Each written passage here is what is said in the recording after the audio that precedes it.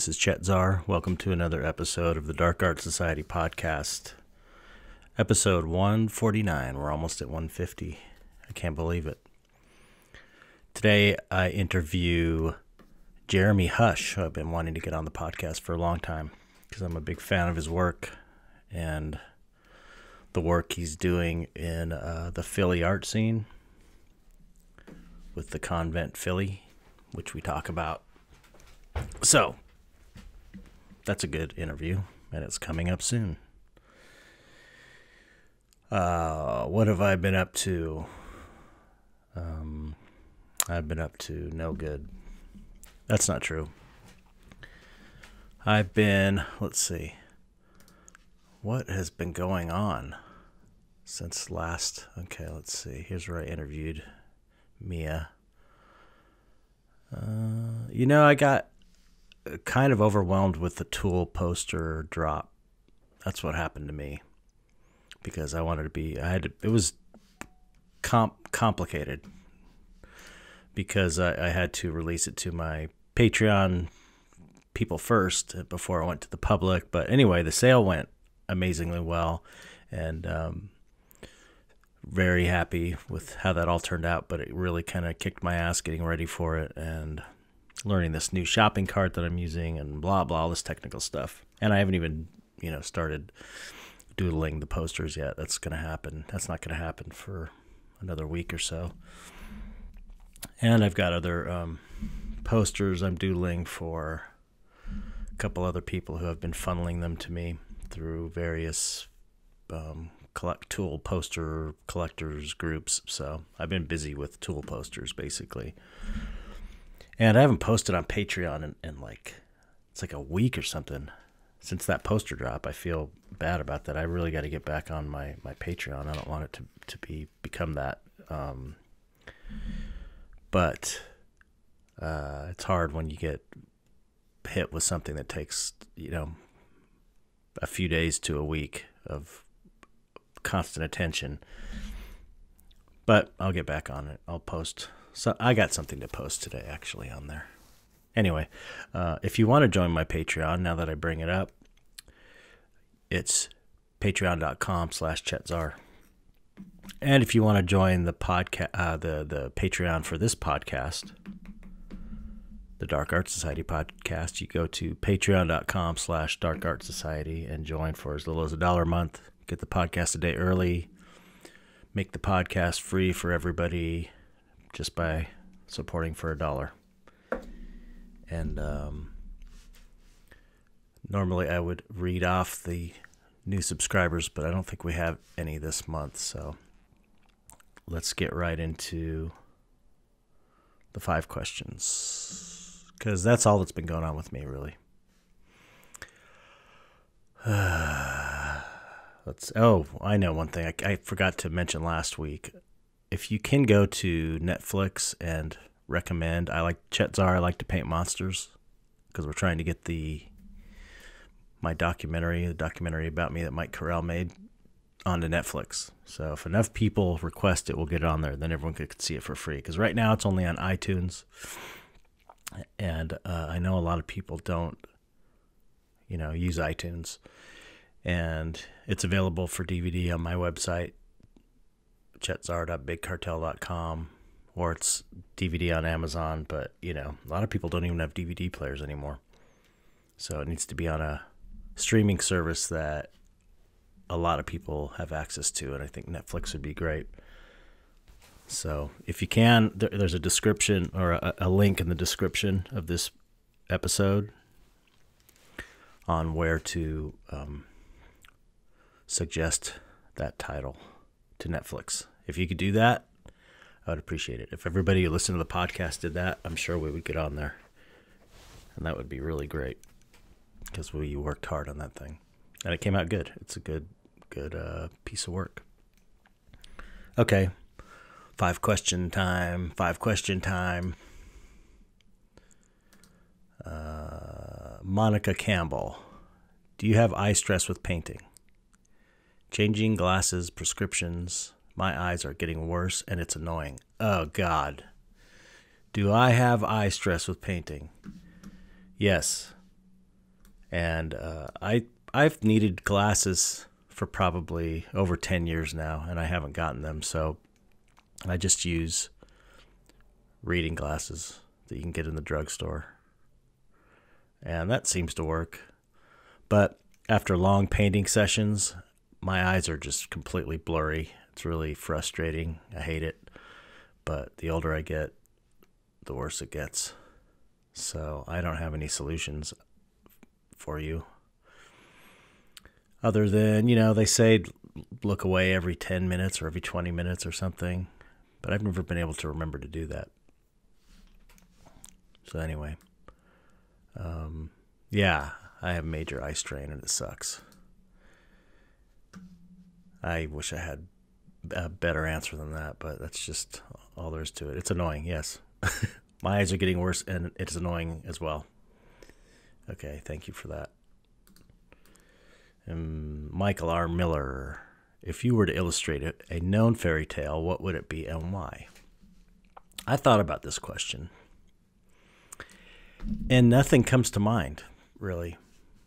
Uh, I am so hung up on doing my own fairy tale, I guess, or my own reality. i am so committed to that that I can't think of another um, fairy tale or another story that is is not something that's coming from outside of my head or not. Yes, another another uh, myth or fairy tale that someone else has come up with. I just uh, it's not grabbing me. I, I think you know until this dystopia thing is realized, I don't think I'm going to be able to really think much about anything else. That's my main goal in life. So I can't, you know, I can't even consider things like illustrating a a fairy tale or something like that until this is out. I feel like this is my dystopia is my big thing. But who knows? Maybe it won't be. Maybe in five years it'll just be like one of the things I did and I'm on to something else. I don't know. I don't know. I don't think that is the case necessarily, but you just never know. Oh, I know something else. I still haven't smoked. Actually, I hit. I had one hit of a cigarette just to see how uh, how crazy it would be after just smoking on this Juul, which I haven't been smoking much on. Man, it was really strong. I can't believe I was smoking those things. Weird. What your body becomes accustomed to. I can smoke a whole cigarette now. Anyway, I feel a lot better since I quit. So I'm glad to say I'm keeping up with that. Anyway, okay, back to this. Uh, hmm, okay. Here's another one from Michael R. Miller. When you increase prices on your artworks, do you raise prices of old items to reflect the new price? Why or why not? Does the same apply to merchandise? That's a good question, actually. I, when I increase my prices, I increase them across the board, but I do have I do feel more flexibility in selling older pieces as far as pricing goes. Like maybe I could fudge it and go to a, a lower price, the price that it used to be at, just because you know if it hasn't sold in that long, I don't know. I don't know why, but um, that's how it feels to me. But you're really supposed to kind of raise them, raise the prices across the board, and uh, you know, I don't raise my prices that much on my I don't raise it at all on my most of my merchandise. But uh, my studies I do because those are like original pieces. But prints I don't. And prints I, I mean I have. I have raised the prices of prints slowly, very slowly. But not like every year like with paintings. I don't know why that is. I'm not really sure I don't know. It seems like the way that I'm doing prints and most of my artist friends are doing prints is not the old school way of doing it, which is closer to like original works. because that would mean the prices would have to be way higher for the prints, and you'd have to raise them every year, and they, you know, it'd be like seven hundred dollars for a paper print. That I don't think a lot of people in my fan base would be able to afford. So I try and keep things affordable. I try and keep the prints as more like a, uh, kind of a stepping stone to collecting one of a kind original works. Same with studies as well. Okay. Uh, Michael Acevedo. Have you seen any art come out of this movement that made you think, wow, this is so universally devastating and important, it will be talked about in future art history classes? If so, do you care to elaborate? If not, what do you think it would take for a piece of dark art to get that kind of reaction? Well, that's a big question. Big couple of questions. I can't think of an individual piece that made me think that, but I have seen art in general in the in the dark art movement that, that has made me think that, or are an artist. You know, pers- the person who comes to mind. I mean, of course, you've got Beksinski and Giger, and they probably, you know, if I thought about it, there's probably a couple in there. Classics, classic Gigers, classic Beksinskis that that um, fit that criteria. As far as kind of our scene right now that's happening, I mean, Beksinski and Giger are sort of the godfathers of this whole thing. But as far as what's happening now, the person that comes to mind, as far as uh, I don't know, that seems to fit that for me, would be Stan Stanislav Stan Dark Art. You know him on um, social media. His crazy ballpoint pen drawings full of pain and anguish are very powerful to me and very a big a sign of the times, a sign of the way people are feeling, not just Stan. So uh, I kind of get that from his work. I can't think of a single painting though, or a single piece of artwork um, that makes me feel that way. By the way, if you hear construction sounds, the person next to us is getting a, a new roof, so it's a little noisy over here. Okay, last one. Kim Holm. I once found myself giggling like a schoolgirl while inking tiny warriors on a huge battlefield. What's the most fun or purely joyous part of the process for you, and do you make sure you do more of it? Well, I can relate to that. That reminds me of when I was a kid, how we used to draw like uh, battle scenes, and you'd be making the sound of guns shooting like while you're drawing. That was the ultimate. Um, but right now, I would say as an adult, um, you know, I kind of feel that way. Hmm. Okay, you're talking about what part of the process? is the the most joyous part. I don't I the beginning's fun. Probably the most fun for me coming up with the idea, sketching it out, getting inspired by having a really great idea that you're excited about. I always when there's a when I hit upon an idea that I think is great, I get this feeling. This like excited weird feeling. It's hard to describe like, oh, that, that's I hit it. That's the thing. That's it. I got to do this and uh, you know, it's all pretty fun except there's there's usually you know I think we talk we talk about this in the in the podcast interview with Jeremy Hush. There's usually uh, an ugly stage or not fun stage where it's just kind of work. Uh, um, I, I just find that often the beginning and the end are, are the most fun parts of it, but I think probably the beginning stages because there's so much potential there. It's not realized yet. But once you get to a certain point, the ending is usually fun when you when you know what you need to do to make it look really polished and great. Um, but sometimes it's like it's so there that you know it needs more work to be finished, but it's there enough for you to see it, and then you're like, ah, I don't really want to put that work in, but you got to do it anyway. It's like I already see it. I've already realized it. You know, now I have to do this final detailing, but I'm not as excited about it. But that's part of being a professional. You have to you have to do it anyway. So I would have to say overall probably the beginning the beginning stage is the most fun because you haven't committed to anything yet. There's still uh, opportunity for it to change and ideas to happen.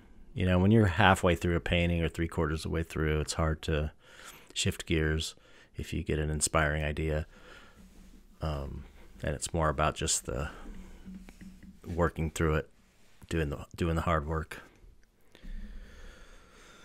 Okay, that's it. That's five questions I have answered again, once again.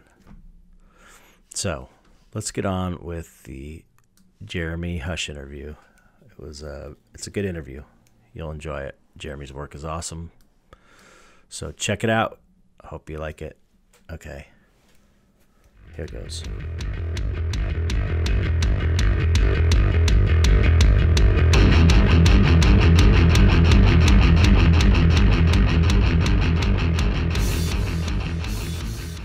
What's up, Jeremy?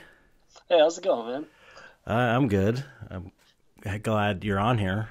I'm happy yeah, about thanks that. Yeah, Yeah. thanks for making the time and coming on. I'm a huge admirer of your work for a long time. Oh, thanks a lot. I mean, you've been you've been showing a long time, right? I mean, how long you been doing the gallery Uh, thing? Uh, pretty much. Uh, I've been living in Philly for about ten years, so it's uh, that's. I've been showing longer than that, but that's when I started taking it serious and stuff.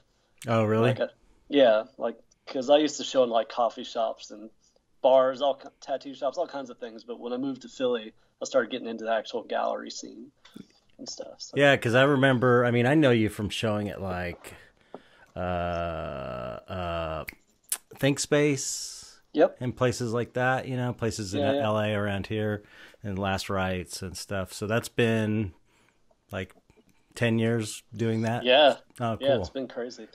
Yeah, that's great. Yeah, your stuff is is is uh, uh it's so great. It's um first thing I want to ask you before I forget is what is what is your technique? What are, what's the the media and technique you're using? Because it's like you've kind of got that old school illustration vibe, which I love. You know, Uh, yeah. it's like maybe watercolors are using or acrylics. Yeah. or Yeah, it's like it's like a color pencils. or- it's like ballpoint. It's mostly like ballpoint pen and uh, watercolor. Some acrylics for like some like some of the tougher colors like reds and stuff like that. But, uh, okay, but mostly it's just uh, it's mostly drawing and watercolor. right, yeah. That's what I mean. Oh, okay, yeah, I love it. I love it. Uh, it's funny. I read I read an interview with you about um, you ballpoint pens in hotel rooms. Oh yeah, that was from my my tour days and stuff because Man. stay in hot- hotels all the time. Right. I I every time I, I it didn't occur to me until uh, reading that. It's like I every time I've used a ballpoint pen in a hotel room, it's like the most amazing ballpoint pen. It's like Yeah. it works so well. It's weird, right? Yeah, there was a while where there were some really really nice ones. They just like they just wrote so well stuff. Right. The ball was just great. Yeah. what was up with that?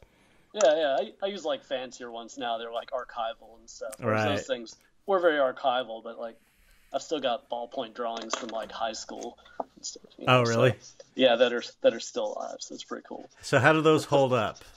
How do they hold up? How does the ballpoint ink hold up from a high school drawing? Is it bleed? Does it bleed and stuff?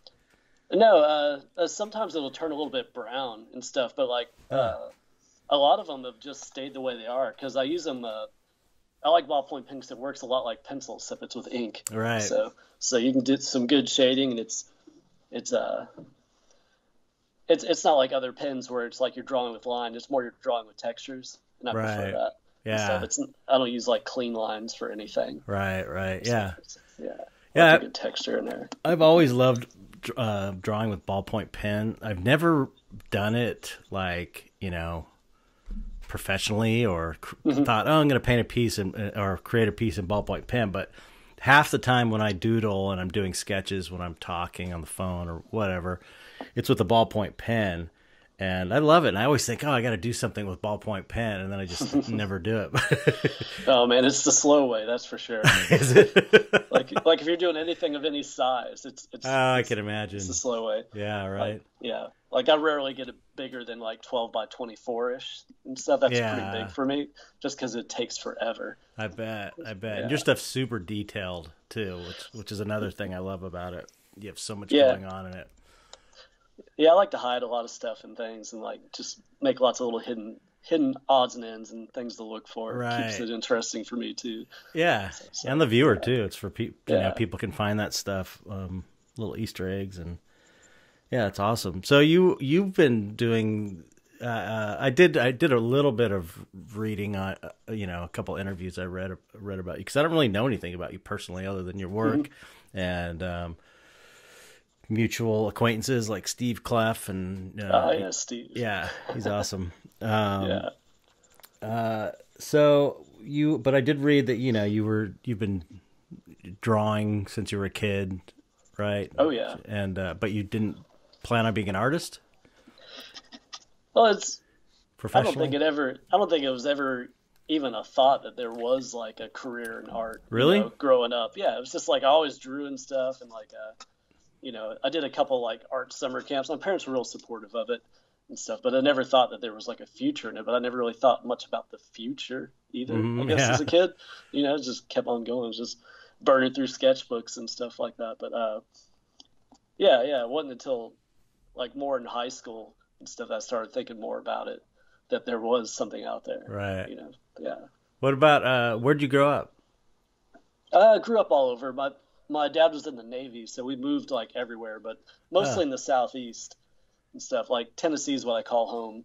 Oh, okay. Uh, yeah, right on the North Carolina border is like just up in the mountains. It's the best. Oh, awesome. But um, but yeah, but I was born in like San Diego, but like I only lived there for like six months, and I've lived all over like Florida and Illinois and like all over the place and stuff. Right. But uh, yeah, I never stayed anywhere too long. It was just constantly being relocated, which is cool. I liked it that way. Really? Yeah. Yeah, most yeah, you don't I, hear I, I, you don't hear a lot of kids saying that, the, like army army brats or whatever they call them, military brats. Yeah, yeah, yeah it's but it's weird to me to hear that. Uh, I have friends that have friends from like elementary school, and I was like, I don't know anybody from like before high school, really. Really? So it's crazy. Yeah. Wow, what a trip. Yeah, but yeah, you know, I was always off on my own drawing anyway, so right. you know, it worked out, and years later, I was touring with bands, so like being on the move was just easy. Right. Interesting. That's yeah, yeah. you know that's that's this is trippy. You, okay, you're like I know you're into punk. You're a, you're a, mm-hmm. you're a punk rocker. Yeah, man. Um, Keeps you young. um, and you know, so you must know Mike Watt and the Minutemen. Do you know the Minutemen? Oh yeah. You know Mike Watt's work, the bass player from the Minutemen. Oh yeah, yeah. Okay. Do you know his solo album, "Contemplating the Engine Room," by any chance? Because uh, it's a concept album yeah. about his dad. It's about the Minutemen touring, and he's related, and he's and it's like an uh, allegory to his dad who was in the Navy. Uh, tra- uh, you know, tra- being a Navy guy and going to different ports, and how it's like uh, how you're in the Navy, you travel all over the place, and you don't, you know, you had to do these tours of duty. And how, when you're in a punk rock band, you get get in the Ford Econoline and you do a tour of duty. So yeah. it's so it tells the story of the Minutemen through this allegory like they're on a boat. It's it's really amazing. it's really cool. I just thought with the Navy thing, you know, you, the, you, you might you might like that that uh, album. Yeah, man. It's pretty cool. Yeah, check that out. but, yeah, like being on the move was always easy for me and stuff. It was it was great. You know, I like to travel and see things and experience other things like other places. Right. Nice. Yeah, yeah. That's cool. That's like the, the the the polar opposite of me. I'm like so not like that like, but I've traveled a lot uh, just because of my job. You right. know, working in the movie business, I travel all over the world, and so I did get that experience that I probably wouldn't have done otherwise on my own. You know, because I'm such a uh, hermit. Oh, totally. I, I wouldn't have gotten out of my shell to do that. But I'm so glad it happened because I mean that's how you become a well-rounded person Yeah. is seeing how other people are and realize you know realize everyone's kind of the same ultimately you know but Yeah. things are so interesting and different and so Yeah, yeah. And if I, you know, if I hadn't gone to college, I would have probably never gotten out of Tennessee. You know, oh like, really That's that's a scary thought. Like I love it there, but like you know, I I would hate to have stayed there. right So right It's just not not for me. I love the mountains, but it's like I got to be out and about, you know, right see other things. Yeah, That's why I'm, I've I, I've said this before too because I was in a band for you know I tried to make it happen for like ten years in music and um, uh, I I'm glad it didn't work out for a number of reasons, be, but because I I wasn't even considering myself a visual ar- artist at that point. So Right. it kind of made me realize, oh, you you've been a visual artist since you were a kid. What are you doing with this music stuff? Um, but but I'm glad because the lifestyle, the traveling lifestyle, would not be for me at all. I don't like it. I don't like it. It's yeah. like- It's it's weird. I have a hard time imagining doing it now because I, I haven't toured in probably like six years. oh, stuff, really? So, so yeah, so you know, the the most fun was the earlier like the punk tours, like when we were just in a shitty van, like staying at people's houses. Those were the most fun. But I was like sleeping on floors. Yeah, what a crazy lifestyle, man. yeah, sleeping on porches and backyards. and if you're sleeping in the backyard, it's because the house is so revolting and horrible that like yeah, Yeah, squats sleeping- and stuff. yeah, yeah, Yeah, but God, what experience! What an amazing, Oh, fun experience for a you know young young man to have. yeah. I wouldn't trade it for anything. It was amazing. That's so know, cool. So were you, survived it. yeah, right? were you a um, were you a when did you get into to punk music? Were you, were you Uh, in, were you a punker in Tennessee? I was mostly into like uh like metal and stuff until I moved to Tennessee like uh in like high school. Um that's where I actually started hanging out with punks was like up in the mountains, which is really strange. Yeah, that's a And, uh, trip. you wouldn't think yeah, the yeah. mountains of Tennessee is where you'd find punk punk rock. Yeah, it's totally strange. And um yeah, it's weird how it worked out. I was living in North Chicago before that and um everyone I was friends with were like metalheads and Mm. there was some punk bands that we listened to, but like nobody called it punk or anything like that and stuff. And until I moved to Tennessee, and a lot of that stuff just translated, and it's things like Suicidal Tendencies is like your gateway for like Oh, right. metalheads to punk and stuff Right, like that. right. And then true. like there's all these other bands that you start listening to from that, and so just getting introduced to other things, and uh, you know, so much of it had like a great energy to it, and Mhm. you know, I don't want to say it's like crossover, but all that like thrash stuff and then punk stuff like that, you know, Metallica got me into the Misfits because they always wore Misfit shirts, that kind of thing. Yeah, you know, yeah, so yeah. It's funny how it crossed over, yeah. but uh, but yeah, it's it's just great. It was uh, and it was the best because it was just the punk community is like everywhere and stuff, and you can Right. travel in it really easily, and um, it can be good, it can be crappy, you know, Right. but uh, but it's it's definitely like a whole world of its own. It's great. I wonder if it's. Do you think it's still out there like that? The punk community. It doesn't seem Yeah, like. Is it? it's it's still there, but it's weird. You know, it's it's uh Like, can you be a band, and a punk band, and be and do do that same sort of sort of like tra- traveling circuit, like you know, Minor Threat and Black Flag and all those dudes did? Yeah. They would just go on this. I wonder if you can still kind of do that. yeah, you can still do it, but um, I don't know. A lot of times, I, I, I don't know. A lot of ways it might be uh, easier than it was just because of social media and stuff True. like that. Now That's true. You know, and um, you're able to stay in contact and like you know like you can set up tours yourself and you can talk to people and stuff like that. But but the yeah, there's still people that tour and do all that like the hard way. you know, Right. for yeah. sure. Yeah. But um, but yeah, it's just weird. Well, It's- Watt does that. Actually, Mike Watt still does that in in, Yeah. in, in the van. Yeah, they still drive the, the van around, and man. it's crazy. It's it's it's fun. It's fun as long as you, as long as you're traveling with the right people. It's, Oh it's yeah, great, I know. I bet it could be yeah. a nightmare. Yeah, yeah. If you're traveling with the wrong people, it's oh man, it could be the end of the world. Yeah. So, uh, I've seen plenty of bands like tour through that. Like you could tell they were not having a good time with each other, and it's just like it shows. It's just like oh, Really? just miserable. yeah, there's not much worse than being in, in a small, crowded Yeah. space with someone you you're totally pissed off at. yeah, yeah. Five people crammed in a van, just stinking. Right. Yeah, just hating hating life. Oh, it's the worst. yeah, it really does seem to be like a special kind of person. It's for it's a lifestyle for a certain type of person. Like musicians seem Yeah. to have they're musicians are like their own thing.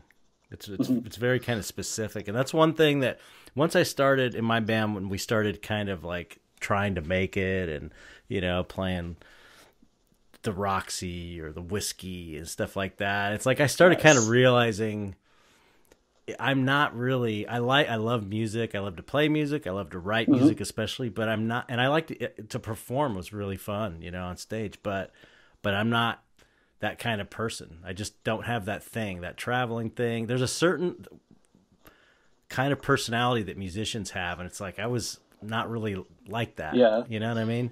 I was kind of Yeah. like it, but not enough like it to really, I guess, embrace. Maybe I don't know. Yeah, it's it's a tough lifestyle. I mean, uh, I never liked being in front of people and stuff. So like, you know, I was, I was like just doing roadie work, so it was easy for me and stuff. But like, ev some people like really like to be in front of people. Right. Yeah. people are really comfortable with that. That was that was never my thing and stuff. So, so if you got that going on, that's that's the place to be, I guess. that was the the weird thing with me though is I because I was like the front man for all my bands and the singer. Oh wow, know? yeah and but i never it never was something i ever wanted to be it was like i, I ended up there because I, I wanted to write music that was the whole point of having a band because i was to, so into like it was like creating it was like painting to me it was cre- writing songs and then playing them. Super fun. But um, for whatever reason i was like the front man but i'm you know a super shy person especially back then. So shy. Not anyone you think would want to be in you know i would never want would want to get in front of a, my classroom or anything like that. Yeah, but- but when i was in the band i was able to do it. It was like a switch went off sort of like i i, I guess like i believed in the music. I believed in what i was doing enough to sort Yeah. of hide behind it or, or be confident enough to be in front of people doing it you know what i mean yeah. And I guess you're up there with people too, but like, yeah that's you true know, but if you're singing like that, you are up front. yeah yeah, that's not something I could do, but uh, yeah it was it was it was good it was great it was fun though um okay yeah, so man, it's a, it's a great thing to experience. Oh, for sure. To have been through it, you know, like, Right. It's great. Yeah, definitely. Every everyone should experience the band thing at some point, you know. Heck yeah. Uh, okay, so you so okay, you were you're always drawing. Uh, you you you you say in this interview that I read that it was something you you did to keep you sit you know sitting still so you can manage to sit still because you're like a not a sit still kind of guy. Yeah, yeah. I was, I was like, I wasn't a hyperactive child, but I, was, I came pretty close to it, I guess. But I was like, I always had to be fiddling with something. Right. So just sitting there, like drawing, just did it. I was like, whether sitting in school or sitting in church, I was just sitting there, just doodling the entire time. right. And uh, yeah, man, especially back in like pre high school and guess up into high school, I used to just burn through sketchbooks like so fast. It would be a just front to back, just like Really? full. Yeah, yeah, just like all the space. It's Do you have a, do you have those? A lot of them still. Um, my mom has some of them. I know. Yeah, scan those things, man. Make They're- some they're books out of them. but, oh man, there's there's just some weird weird stuff. So I'm sure. yeah. Yeah, who knows, man? You know, I wasn't even into like drawing skulls and stuff yet, like Just before high school and stuff, and it was just just weird drawings, things. like So, what? What were yeah. you? What were you drawing? Just anything, or? or... Yeah, I mean, I was I was always into like horror movies and stuff, but I had this thing where I like used to draw like I have like tons of these drawings of like uh, of like a it's like an open closet and it's like packed full of boxes and stuff, but like in all the negative spaces, like there I would draw these like little like glowing eyes and stuff, and it would just be packed through like all crawling things and stuff, and like That's you know, or I'd be or I'd be drawing caves and things like that. It was just it was just, uh, kind of thing that just your hand just keeps moving and stuff. It just it just goes on its own. It's I would- not I- a lot planned. I wonder if it, if it was like, you know, automatic writing. Like you were getting some kind of. If you look back at all that stuff, I wonder if you'd be getting insight into your personality or or what you were going through at the time. Because I don't Oh, know, yeah, closets sure. with boxes and caves. It sounds very like symbolic. You know what I mean? Yeah, yeah. but, but yeah, I always liked I don't know the idea of like little things running around everywhere and stuff. I don't was- Right. yeah. There's you know those are always my favorite like you know Tales from the Dark Side episodes and things like that. Is when they were like little monsters and creatures. Right. There's right. something about that you know. The gate, things like that. yeah, I think yeah. I watched that really early. That probably is what really did a number on me. So That's cool. Yeah. Um, yeah, still love that stuff. yeah, yeah, it's super fun. I love it. Uh, so okay, you were doing that. How did you? I mean, how did you end up basically? You did. You did like you've done a lot of album covers and stuff, right? Yeah, yeah. So how did you? I mean, how did you wind up doing that? Just like doing it for your your friends' bands, and then kind of Yeah, it just yeah, started- happened, or what? like in high school, like you know, my my high school friends' crappy bands, I would I would draw like tape covers and stuff for them, and like uh, and half of them didn't even become bands. They were just drawings I do for buddies of mine that were playing something terrible. And uh, yeah, then like you know, I started doing flyers for shows, and um, when I moved off to college down, I, I moved to Savannah, Georgia, and there was like an actual punk scene down there, and I started doing flyers for bands, and then that translated into doing artwork for bands, and then I started booking bands and like houses and warehouses and things like that. Oh wow. Then I, then I started touring with bands, and it all just kind of snowballed like that and stuff. It was it was great, but uh, How long did that process take before you were kind of doing maybe more significant album covers or you know more significant things? I guess.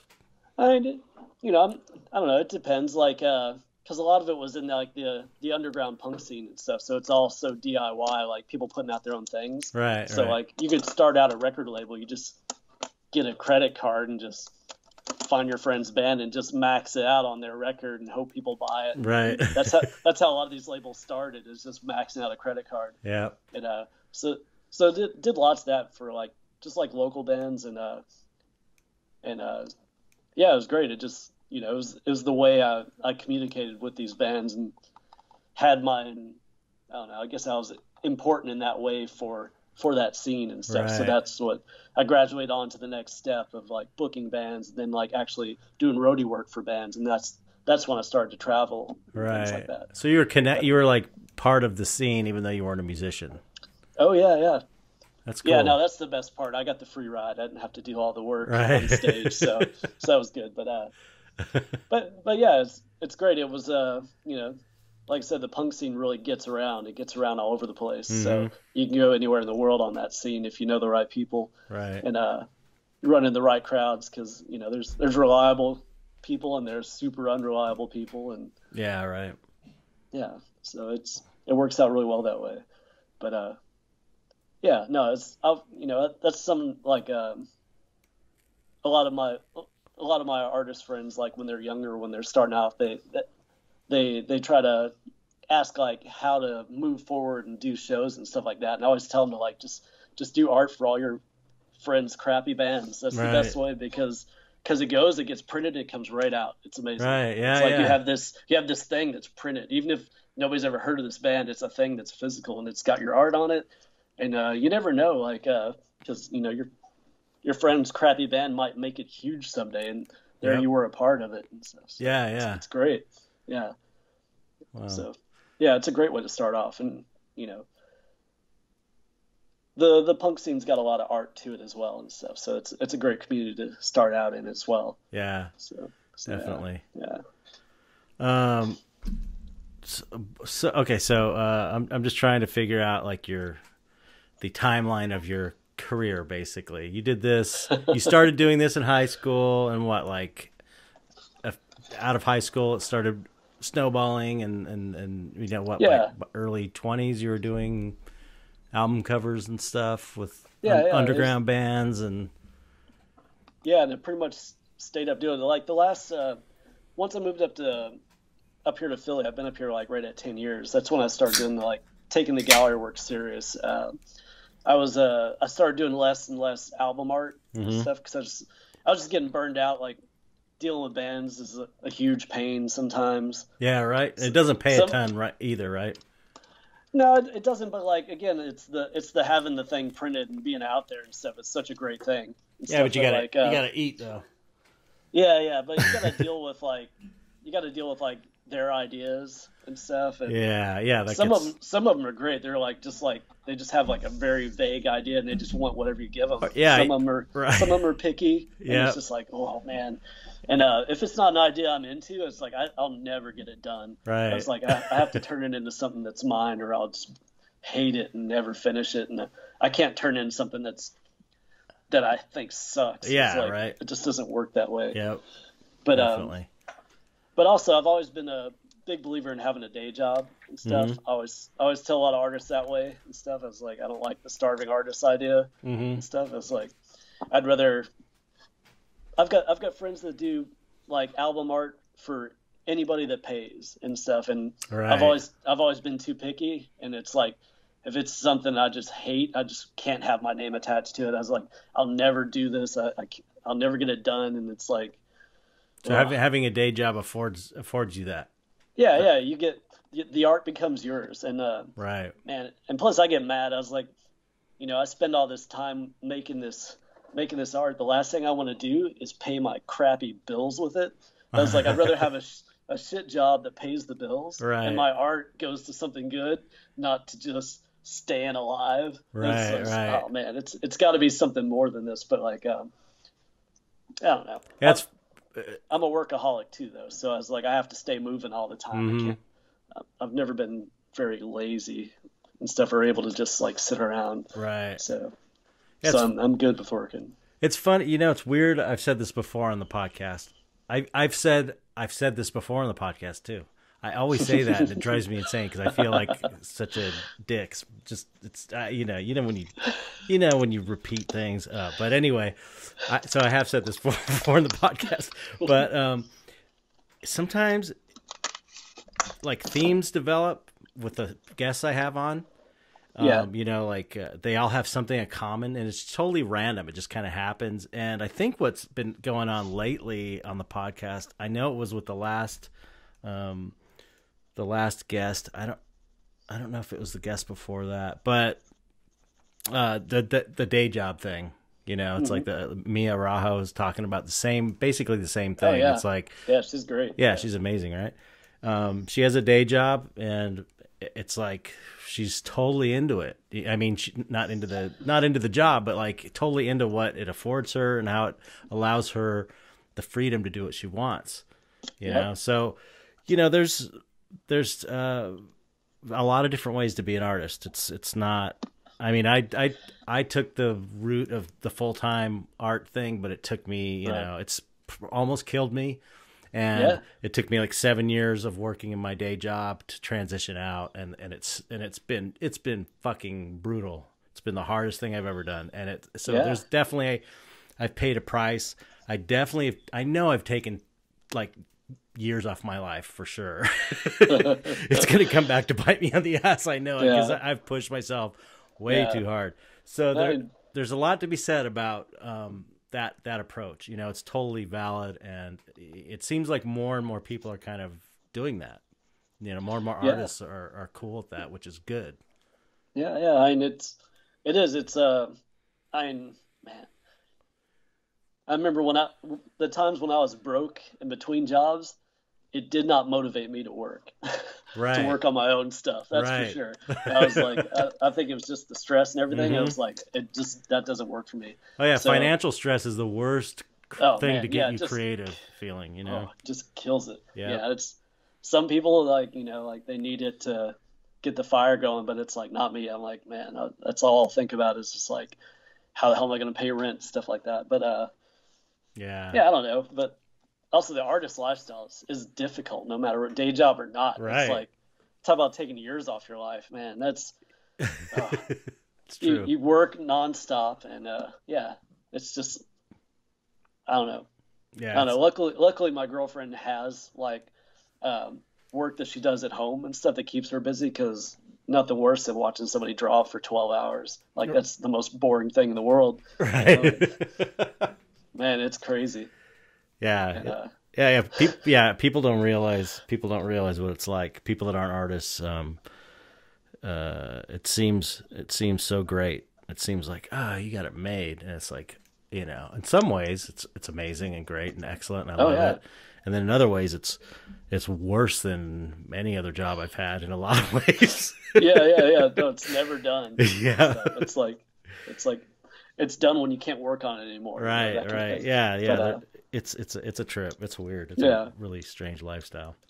No doubt, it's it's good. I mean, I'd, I'd be doing it whether I had a place to go or not. know, Right. I'd be sitting there doodling anyways, and working on stuff. But uh, it's nice that it has a place to go. You know that people Yeah. people see the final product, and that's cool. But like, yeah, they don't see the the hours sitting there Yep. working on it and stuff. Because that's man, that is brutally boring to see. You know, like, yeah, and sometimes, Yeah. bru- often brutally boring to do. There's po- points, Yeah. you know, where you have to just push through a piece to get it done because it's like, Yeah. you know, it's not. There's a there's a period usually for me, and it's not always like this, but there's a good chunk of time where it's like "Ugh, I don't want to. I, want, I just want to watch TV right now. I just want to watch a movie or something. I don't really want to Oh, do no. this.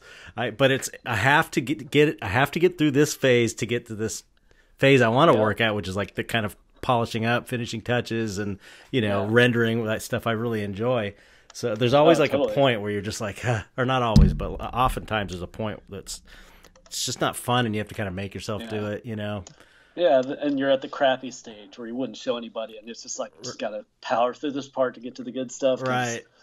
ugh, and then it's like, is this worth it? And it's yeah, yeah, it's it's it's a tough one, man. It's like some sometimes there's a stage where it's like, should I start this over? And it's just like, no, it's gonna go. It's gonna Right. go. Right. Right. Eventually, gets to the part, and it's like, oh, there it is. Yeah, Yeah. but uh, That's but what. yeah, it has has some moments where it's kind of ugly. Yeah, yeah. I started, you know, on Instagram a while back when I was showing all my progress stuff. Like I, I'm, I'm on, I've moved all my progress stuff to Patreon now.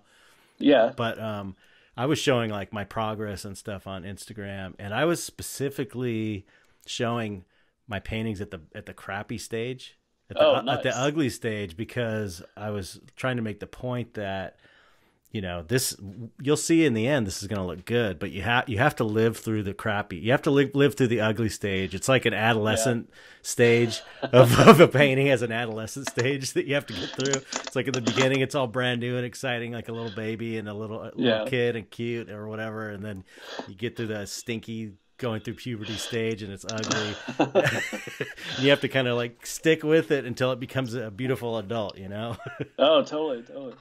yeah, I, I remember you used to have like uh, there was like the Friday Night Art Dorks, Yeah, and stuff right. like that.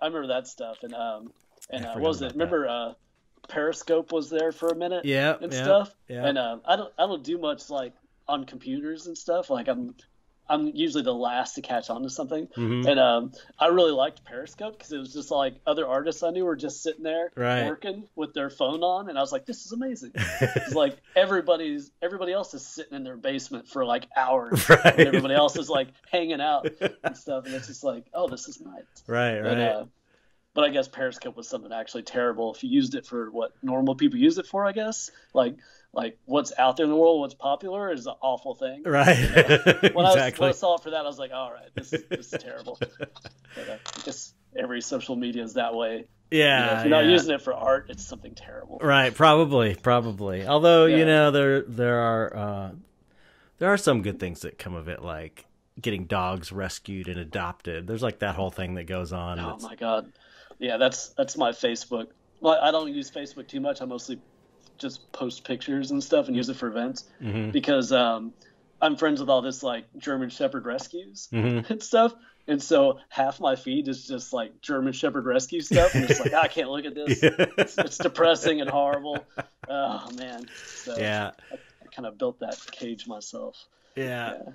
It's it's it's it's yeah. I mean, it's uh, social media is, is is a mixed bag. That's for sure. Um, Yeah, Nowadays- it's good. It nowadays keeps me in contact with people. So yeah. Yeah, I've been on there less now than I've ever been on there. Like I just couldn't deal. I, I, I got to a point. I was really active on it for a long time. I was a big proponent of it for artists too. Um, Yeah. and I still am, but I just couldn't take it anymore. It was just sick of hearing everybody's every single thought that was going on in people's heads. They just like Yeah, put it on social media and I and it's just like this inundation of everybody's you know sick or upset or someone's Yeah. parents just died or you know just like all this negative shit coming at me. So it's just like, oh man, I got to get off here. The politics and all that. It's just like, uh, I can't take it anymore. Yeah. and I felt so much one, better. I've been, I felt so much better since I've been off there. It's really kind of uh, it was. I had to do it. Yeah, I've I've never been one to like post personal stuff. Really. Right. You know, it's like, uh, you know, I when I'm doing outdoorsy stuff, I'll post some pictures of that stuff, but it's never like super personal things. And Right. some people like share everything so personal out there, and I was like, man, you're just throwing that out there. That's, Yeah. that's not something I would do. That's Right. I know it's hard. weird. That's hard to imagine. Yeah. but, uh, Yeah. I, yeah, you know, I, I like it and I hate it. It's weird. Yeah. Yeah. Basically. Like. But uh, yeah, it does keep me in contact with a lot of people, so that that's good because otherwise I'm terrible at calling mhm. and writing. Yeah. Okay, so uh, how'd you get into the showing in galleries? How did you crack that nut? um. A lot of people have a hard time getting into galleries. Yeah, that that is a that can be a tough one. Like, uh, it's mostly just I don't know. I, I run a I run a small gallery here as well, and I tell people it's like the best way to get into it is just to be active in your art community. Right. You That's know, what I say it's too. like Go to the shows. like, meet the people I that are showing. Meet the people. You know. yeah, like I don't show people that don't come out. You know, like Mhm. yeah, it's like a, you know, it's I try to, you know, I try to keep the community like, you know, like active and stuff. And like if you're not coming out and supporting, I don't really want to show your work. Right. So yeah, you gotta you gotta be active in the art community. If, if you're around and you know, I don't know, it's just great. Like if if you're getting into the arts and you find out where artists go and you know you start hanging out at shows, you meet other artists. It's like suddenly you have something in common. You know, Mhm. because it's again, it's like you know, sp- spending all night in your basement drawing and stuff. That's that's a hard group to find. Right. Stuff. And when you find them, it's just like, wow, somebody else does this. This is Right. amazing. Yeah. I, Yeah, I, so- yeah. I remember when I yeah when I first found the Cannibal Flower group shows, I was like, wow, this is like I've dreamt about this since I was a kid. You know, like my people. No, it's the best. But uh, yeah, it's just hanging out and you meet people and like you know you work your way into these things. It's um, you know you just gotta you gotta work too. And uh, I don't know with like uh, with social media and stuff like. I think some people are coming at it a little early sometimes. You know, they Oh, want yeah. to get into galleries and stuff, and it's like it's like you know, worked for a long time before it was really worth showing people. and stuff. Right. And like yeah, I know. That's I, I've you know, made that point many times. yeah, and, and you get a lot of out people there forever. Once you put it out yeah, there. totally. No, I remember in high school, like one of the one of the ways I learned to draw was just like trying to figure out Pushead. You know, Pushead was was like one of my idols in high school, and it was like, how the hell did he do this stuff? And just trying to redraw Pushead. And I, I don't know. I guess if I was in high school now, I'd probably be posting that on social media, like check out this Pushead drawing. and it's not the thing to do. You know, it's it's cool to show people, but it's not something to like post about and like, uh, you know, you got to find you got to find your your way of doing things because you get a lot of copycats and stuff like that because they're younger hmm and they're trying to figure out stuff from the way other artists do it and it's just like but you don't show this Right. you know you, exactly. you got to make it yours and uh, that that comes with time you know it's it it took me years to find like my style the way I really wanted it and stuff Mhm. and, Yep. you know that that felt right and uh Yeah, it takes years. That's the that's the thing nobody wants to hear. I guess a lot of young people don't. You know, when you're young, you don't want to hear it. You know, you have to think five years down the road or whatever, or three years Oh, down the road. It's like nobody wants to hear that. but yeah man but it's just like you know it's the truth, though. yeah, just find out where other artists are and just start hanging out, you know, and Right. like, you know, there'll always be some kind of group art thing, you know, you can always like get your work into somehow, you know, there's they usually start out super informal and stuff. You show in coffee shops and different places like that. Yeah, that's a great way to start. Yeah, for sure. Yeah. Yeah. I used to. I, I used to show in any any place that would have me. I mean, I've lost a couple paintings because I would show any place Yeah. that would have me. That I never got it. You know, I Oh showed man. I showed at a coffee shop, and I still haven't gotten a painting back from that place. And Oh jeez. Yeah, but um, uh, so uh, well, how did you get you know not being in L.A. How did you start showing at Thinkspace and stuff and and Last Rites? Well, New York's kind of close to you, right? Yeah, yeah. New York's only like an hour and a half. Okay, so how'd stuff, you but, how'd um, you start showing out on the West Coast?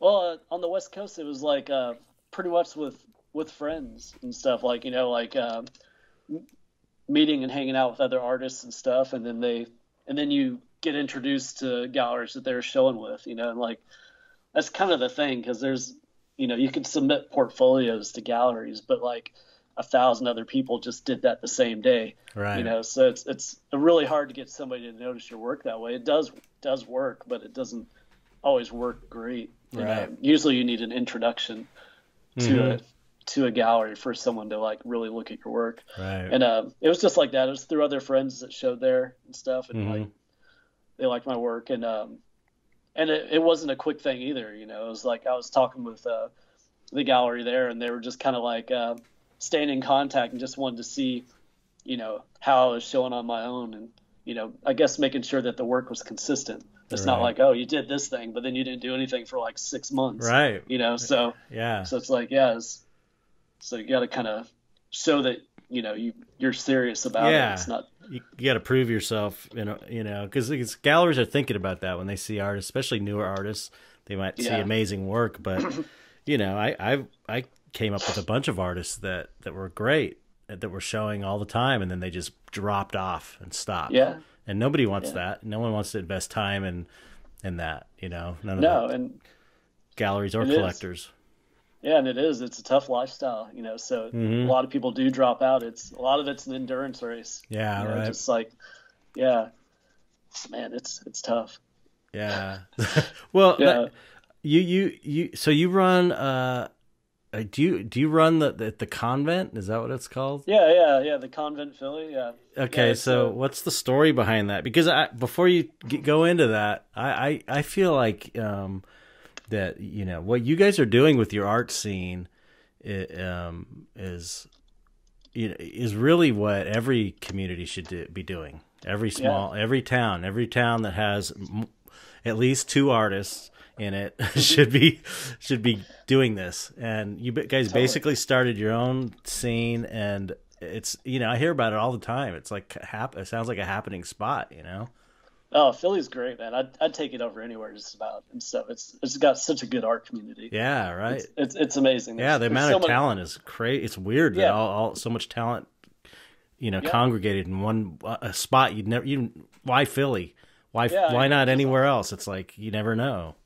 Yeah, it's weird. I was, you know, because I've lived in like uh, Savannah, Georgia. That you know, it's big art college town and stuff like that. And then I lived in um, Asheville, North Carolina, which is like an artsy place up in the mountains. And uh, and then I came up here to like you know, ugly Philly, and like that was where the first time I was ever felt like part of an art community Right. and stuff. And it was just like there a few a few years back there wasn't really any galleries uh, for this kind of work that like had like an online presence or took it serious and stuff. And uh, you know, then along came galleries like Paradigm and Arch Enemy, Mhm. like that started taking it serious. And because there was nobody taking it serious for so long, the artist community just grew into itself. Mhm. You know, it's just like artists were just hanging out and they were showing with each other and just doing their own thing and just working. And it wasn't going anywhere. It was just building up and stuff. And all of a sudden, you have a couple of galleries that pop up, have like an online presence, and suddenly it's like this art is already there, and it's like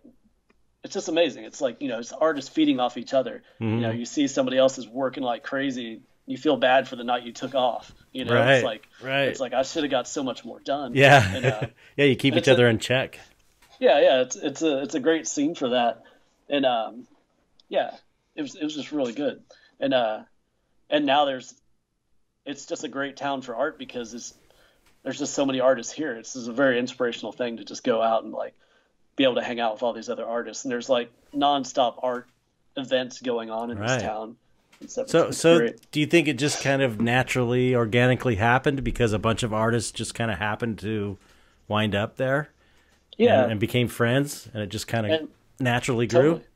Yeah, and it's uh, you know, and and there's so many different factions of the arts community here too and stuff. You know, I really only hang out with like with like mine. It's more the the darker illustrative and hmm pale. You know, you know, I don't hang out so much with like the street art group, which have their Right. own like galleries and stuff like that, and like, and uh, then you have all your your high end and your touristy galleries and stuff like that that I don't go anywhere near, and um, it's just interesting that this is a really big city, but it doesn't feel like it because it's Mhm. kind of divided into north, south, east, and west, hmm and each one's like kind of self-contained, and uh, yeah, it's just just interesting. There's so much going on in this town, Right. but uh, it's also because this town is super affordable.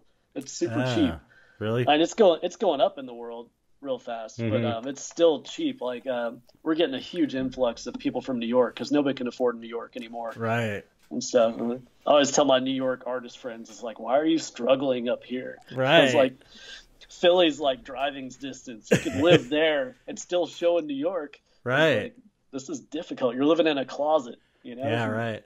Paying more rent than I ever would. Uh, it's it's crazy. Yeah, But, it is uh, insane. but yeah, Philly's just got like a great community, and like you know, the people in it are what do it. You know, everybody's everybody's great. Yeah, and it's just hard to nail it down. It's just cool to see such hardworking artists. It's not just like oh, I I draw and I paint and stuff. These are like hard workers Right. and stuff. It's great, you know. Even ones that aren't as well known or like work just as hard as any like you know like professional gallery artists Mm-hmm. does. You know, they're like putting it out there on Right. their own. Yeah, yeah. It's just amazing. It's really like it. It is. It's it's like the punk rock model.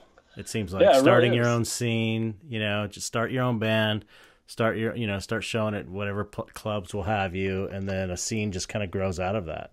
yeah, yeah. You know. Again, it, yeah, people just see other artists and stuff, and it just grows. It's great. You know, How, so more, how, more people come around. so what's what's the story with the the the convent? The Oh, the convents. Convents, it's it's amazing. We've been here for about six years, and uh, Oh wow. and uh, we haven't been doing the gallery that entire time. What what is it? What is it to start Well, with? You know uh, what? is it like a it's a real- commune or is it like an art gallery or what?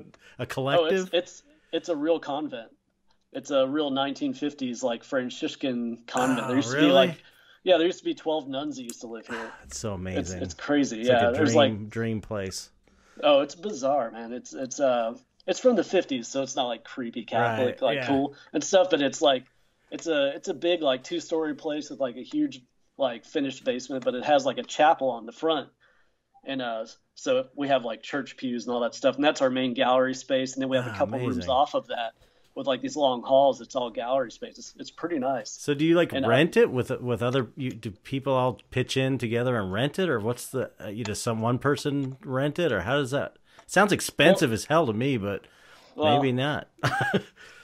Yeah, there's it's a well, there's a I started years ago. I started showing with this uh, Gristle Gallery up in uh, in Brooklyn, and um, I didn't know who they were, and like none of my friends really knew who they were and stuff. So like uh, they asked me to do a show there, and back then I would show anywhere anyway. So I was like, yeah, I'll check this out. I don't know anybody there. That'll be fun. hmm And um, and I did a show up there, and it was great. It was like a a tattoo shop and gallery, but when they have like art openings, all the tattoo stuff is like put away. It's not like walls full of flash and, and Right. chairs everywhere. It's like completely cleared out, and it's just like the walls.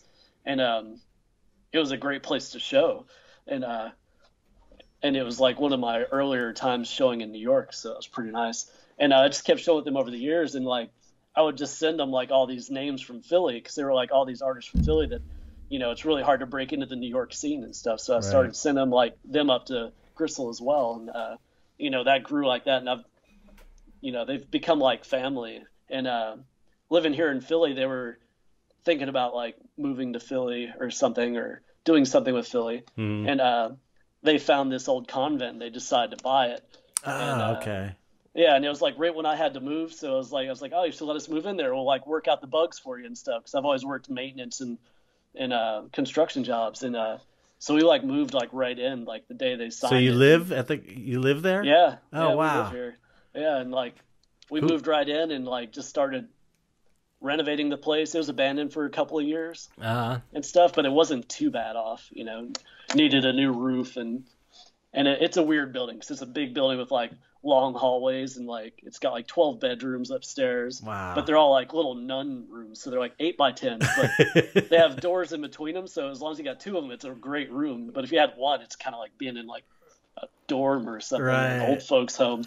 But uh, yeah, we pulled up like miles of carpet and just kind of cleaned the place up, and and it's just amazing. But it has this space on the front that's just perfect for shows, and so I, I just started renovating the chapel area, and I put in all track lighting and stuff, and wow. we just kind of started doing like show like shows with friends and like it just kind of grew like every time we had a show i renovated a little bit more and a little more and it became more and more of like a real gallery space and uh you know and it's and it's it's based a lot off the model of like uh, up in new york there are people with jobs that like curate art shows at people's houses Oh, stuff, really? and like that's a whole business like where these people will you know, rich rich people? It's, it's for wealthy. People. Okay. Yeah, yeah. Like uh, I've never heard of that. yeah, they'll they'll hire these people to curate an art show in their house, and then they'll have these art parties where they show off these art shows to all their rich friends and stuff.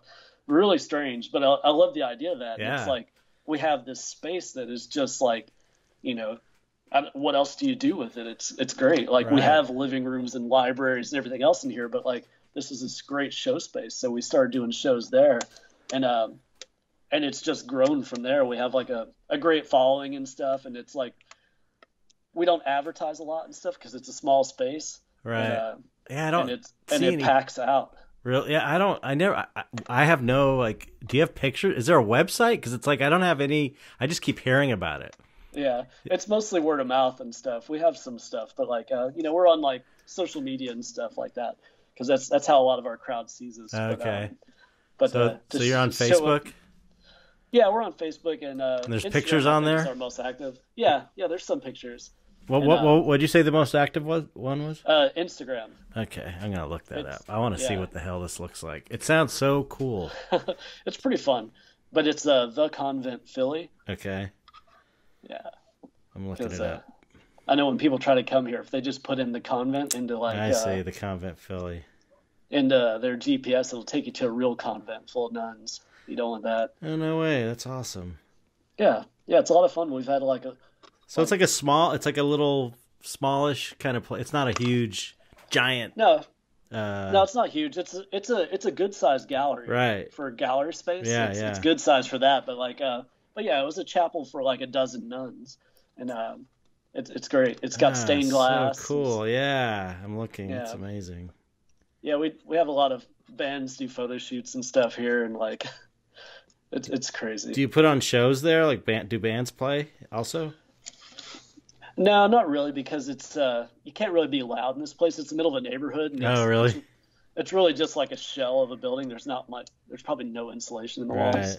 and stuff. But uh, so yeah, there's nothing to block sound. But like, uh, we've had like more like one man bands kind of things and stuff. Right. Like play Yeah, yeah. that thing. But it's mostly in like an art space and like we'll do movie nights and all kinds of odds and ends. It's it's great. That's But uh, excellent. the art shows is our main thing. But yeah. yeah, So you're doing, you're running that. You're running that. yeah, yep. Wow. Okay. So you have to deal with a lot of bullshit. I imagine running a gallery. Um, Yeah, a bit. It's it's uh I, I've curated enough to know it's it's um you know artists are I'm an artist. Artists are my people, but they're sometimes not very easy to deal with. Occasionally, with uh. um, yeah, artists can be weird. yeah, yeah. And, it's uh, the stereotype is true. Sometimes article our artists are kind of um, you know uh, they can they can be temperamental. Um, anyway, I don't I don't want to go into that because artists Yeah. get enough shit. But but No you, doubt. but you I'm uh, pretty picky. I'm pretty picky about who I show as well. and you guys kind of know each other too. You know. yeah, yeah. I bring in a lot of people that I've shown with, like out west and in New York and stuff. So I'm able to bring like like uh, names into Philly that wouldn't normally like come to Philly, I guess. hmm So, so, so that's pretty nice. But yeah, I'm pretty picky. So like, I've never really had like a, a bad experience. But um, I also like to book like my friends that are that are hard workers but are like really unprofessional. You know, hmm they like punks and stuff like that. I'll bring them in and they've never shown in galleries and like they've maybe shown in a coffee shop and they'll bring stuff that's like in just the jankiest frame, Right. like, unframed. It'll just show up unframed. It's just like, you know, I help them out because I was like, I'm not gonna let it be a bad show. Right. I know Right. they're starting out, so it's like I've totally like reframed people's work and stuff, yeah. it's- things like that, and like, yeah, it's it's a little bit stressful, but it's not bad. But it's it's worth it to have like a good show and like you know, Yeah. I've- and these some of these guys are learning early, you know, that like this is how it's done. right. know, Right. The more presentable your work, the more people will look at it. If it's just like looks like shit, nobody's gonna pay attention to it. So, Yep. Yep. yeah. I learned. I, I remember learning that lesson myself when I f- Oh, started yeah. showing. You know, Fra- Yep. framing is important. Yeah, yeah, no, it's it's the presentation that counts because Yeah, people will go, people will go right by it. Yeah, it's the it make it's the it can often be the difference between selling something and not selling it. yeah, no, You know? very much so. Yeah, What at what the same kind? time, What? No, at go the ahead. same- At the same time, I love going to like like big fancy galleries and like you can see like duct tape coming around the side of a frame and stuff. Uh-huh. You know, the back is just solid duct tape. It's Right. like, oh, you jerk. You know, I know you sell paintings for like real money, and you're Mhm. still turning in some like crap frame. That's just, I, I still look for that kind of stuff. It's Yeah. like, oh man, that's that's lazy. so, are you put? Do you guys do shows like every month?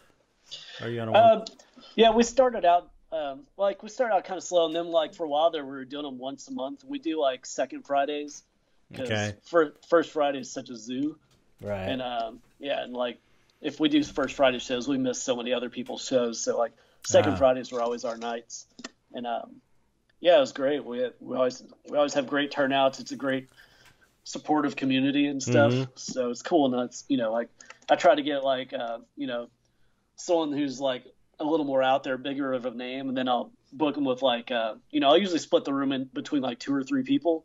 So you know you really only need to bring in like six pieces, eight pieces, something like that. It doesn't have to be too much. Right. And, um, you know, and I'll I'll book them with like some of my my younger friends and stuff that haven't shown as much, and like you know, and it's it's great for these artists to meet because they've never experienced this kind of thing, and they get to see how like you know a more formal artist does right. their work, and Yeah. it's it's just a great mix. You know, you to pick artists that are like like all great talented, and then like putting them together from totally different worlds. It's just Right. great.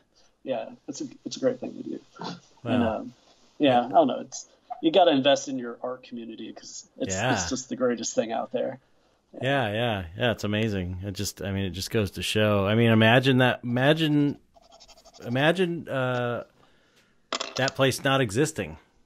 Yeah, How different everybody's lives would be in that community. It would not, it, you know, might not have that same galvan, galvanized community vibe.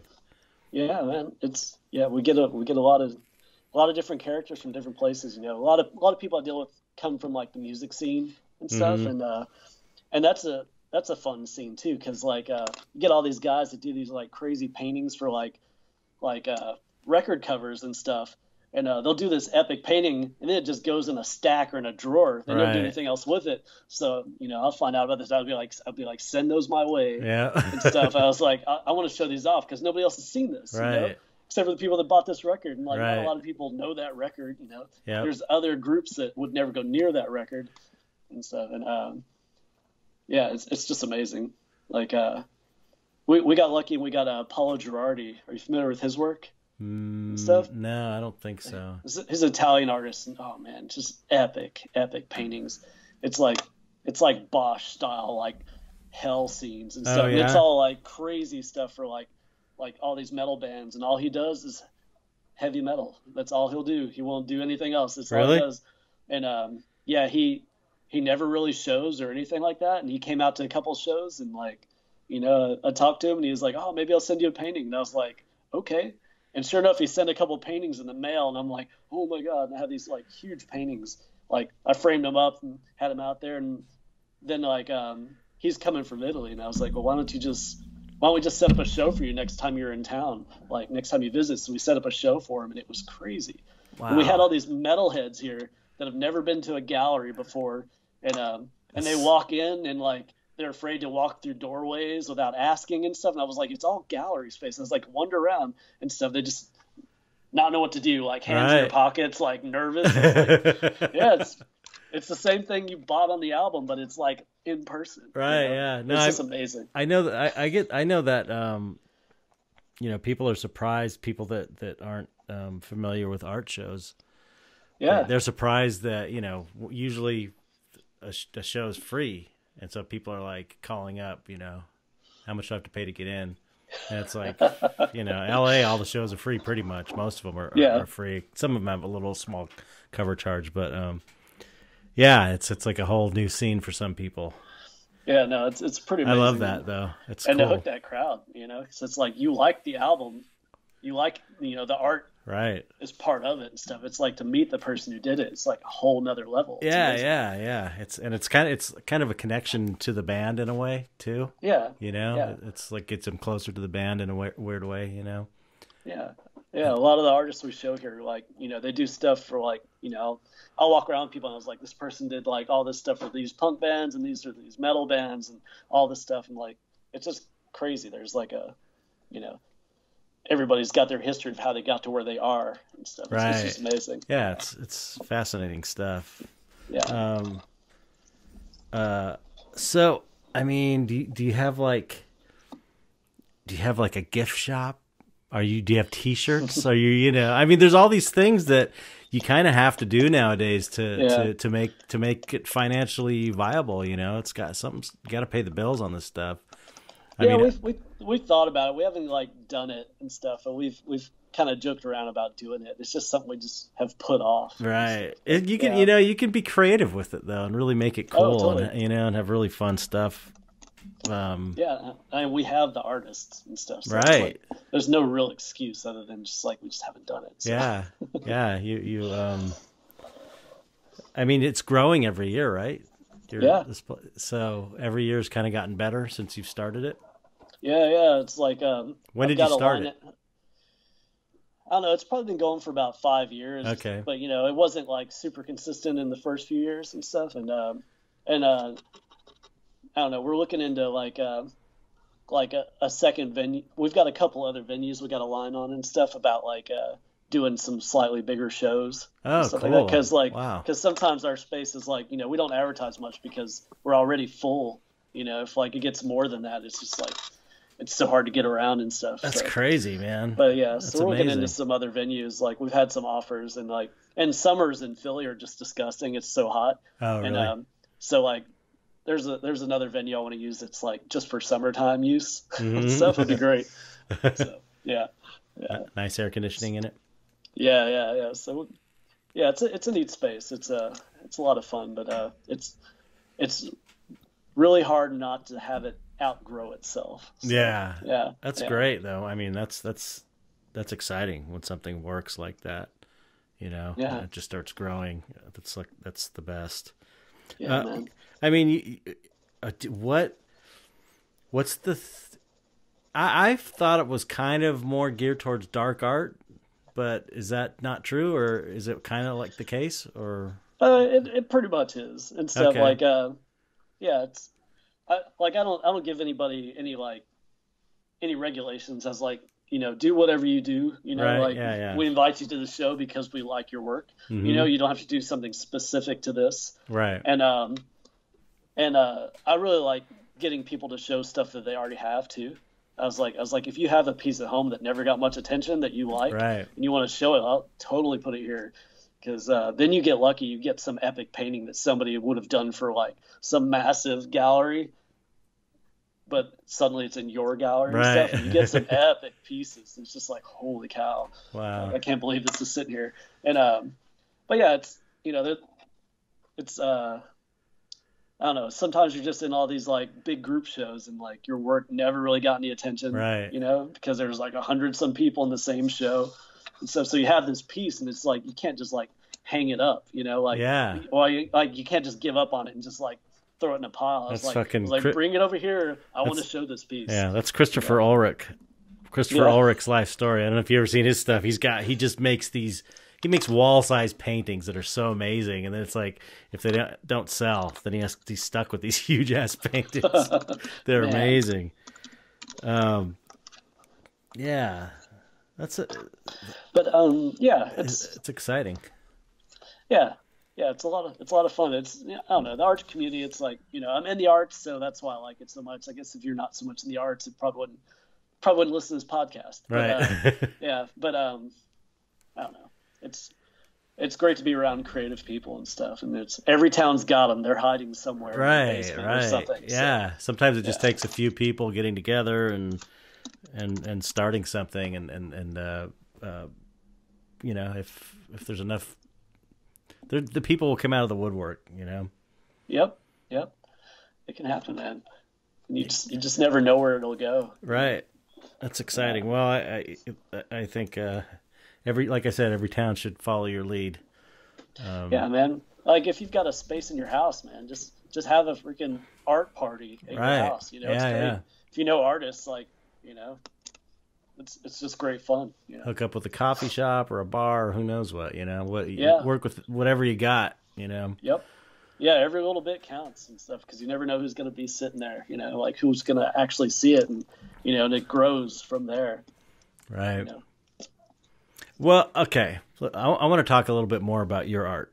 Um, you know, I always thought I I think of you kind of like as a dark artist. I know you maybe don't think of it that way, uh, and it's not all necessary. It's not all dark, but I don't. To me, it has it has the aesthetic.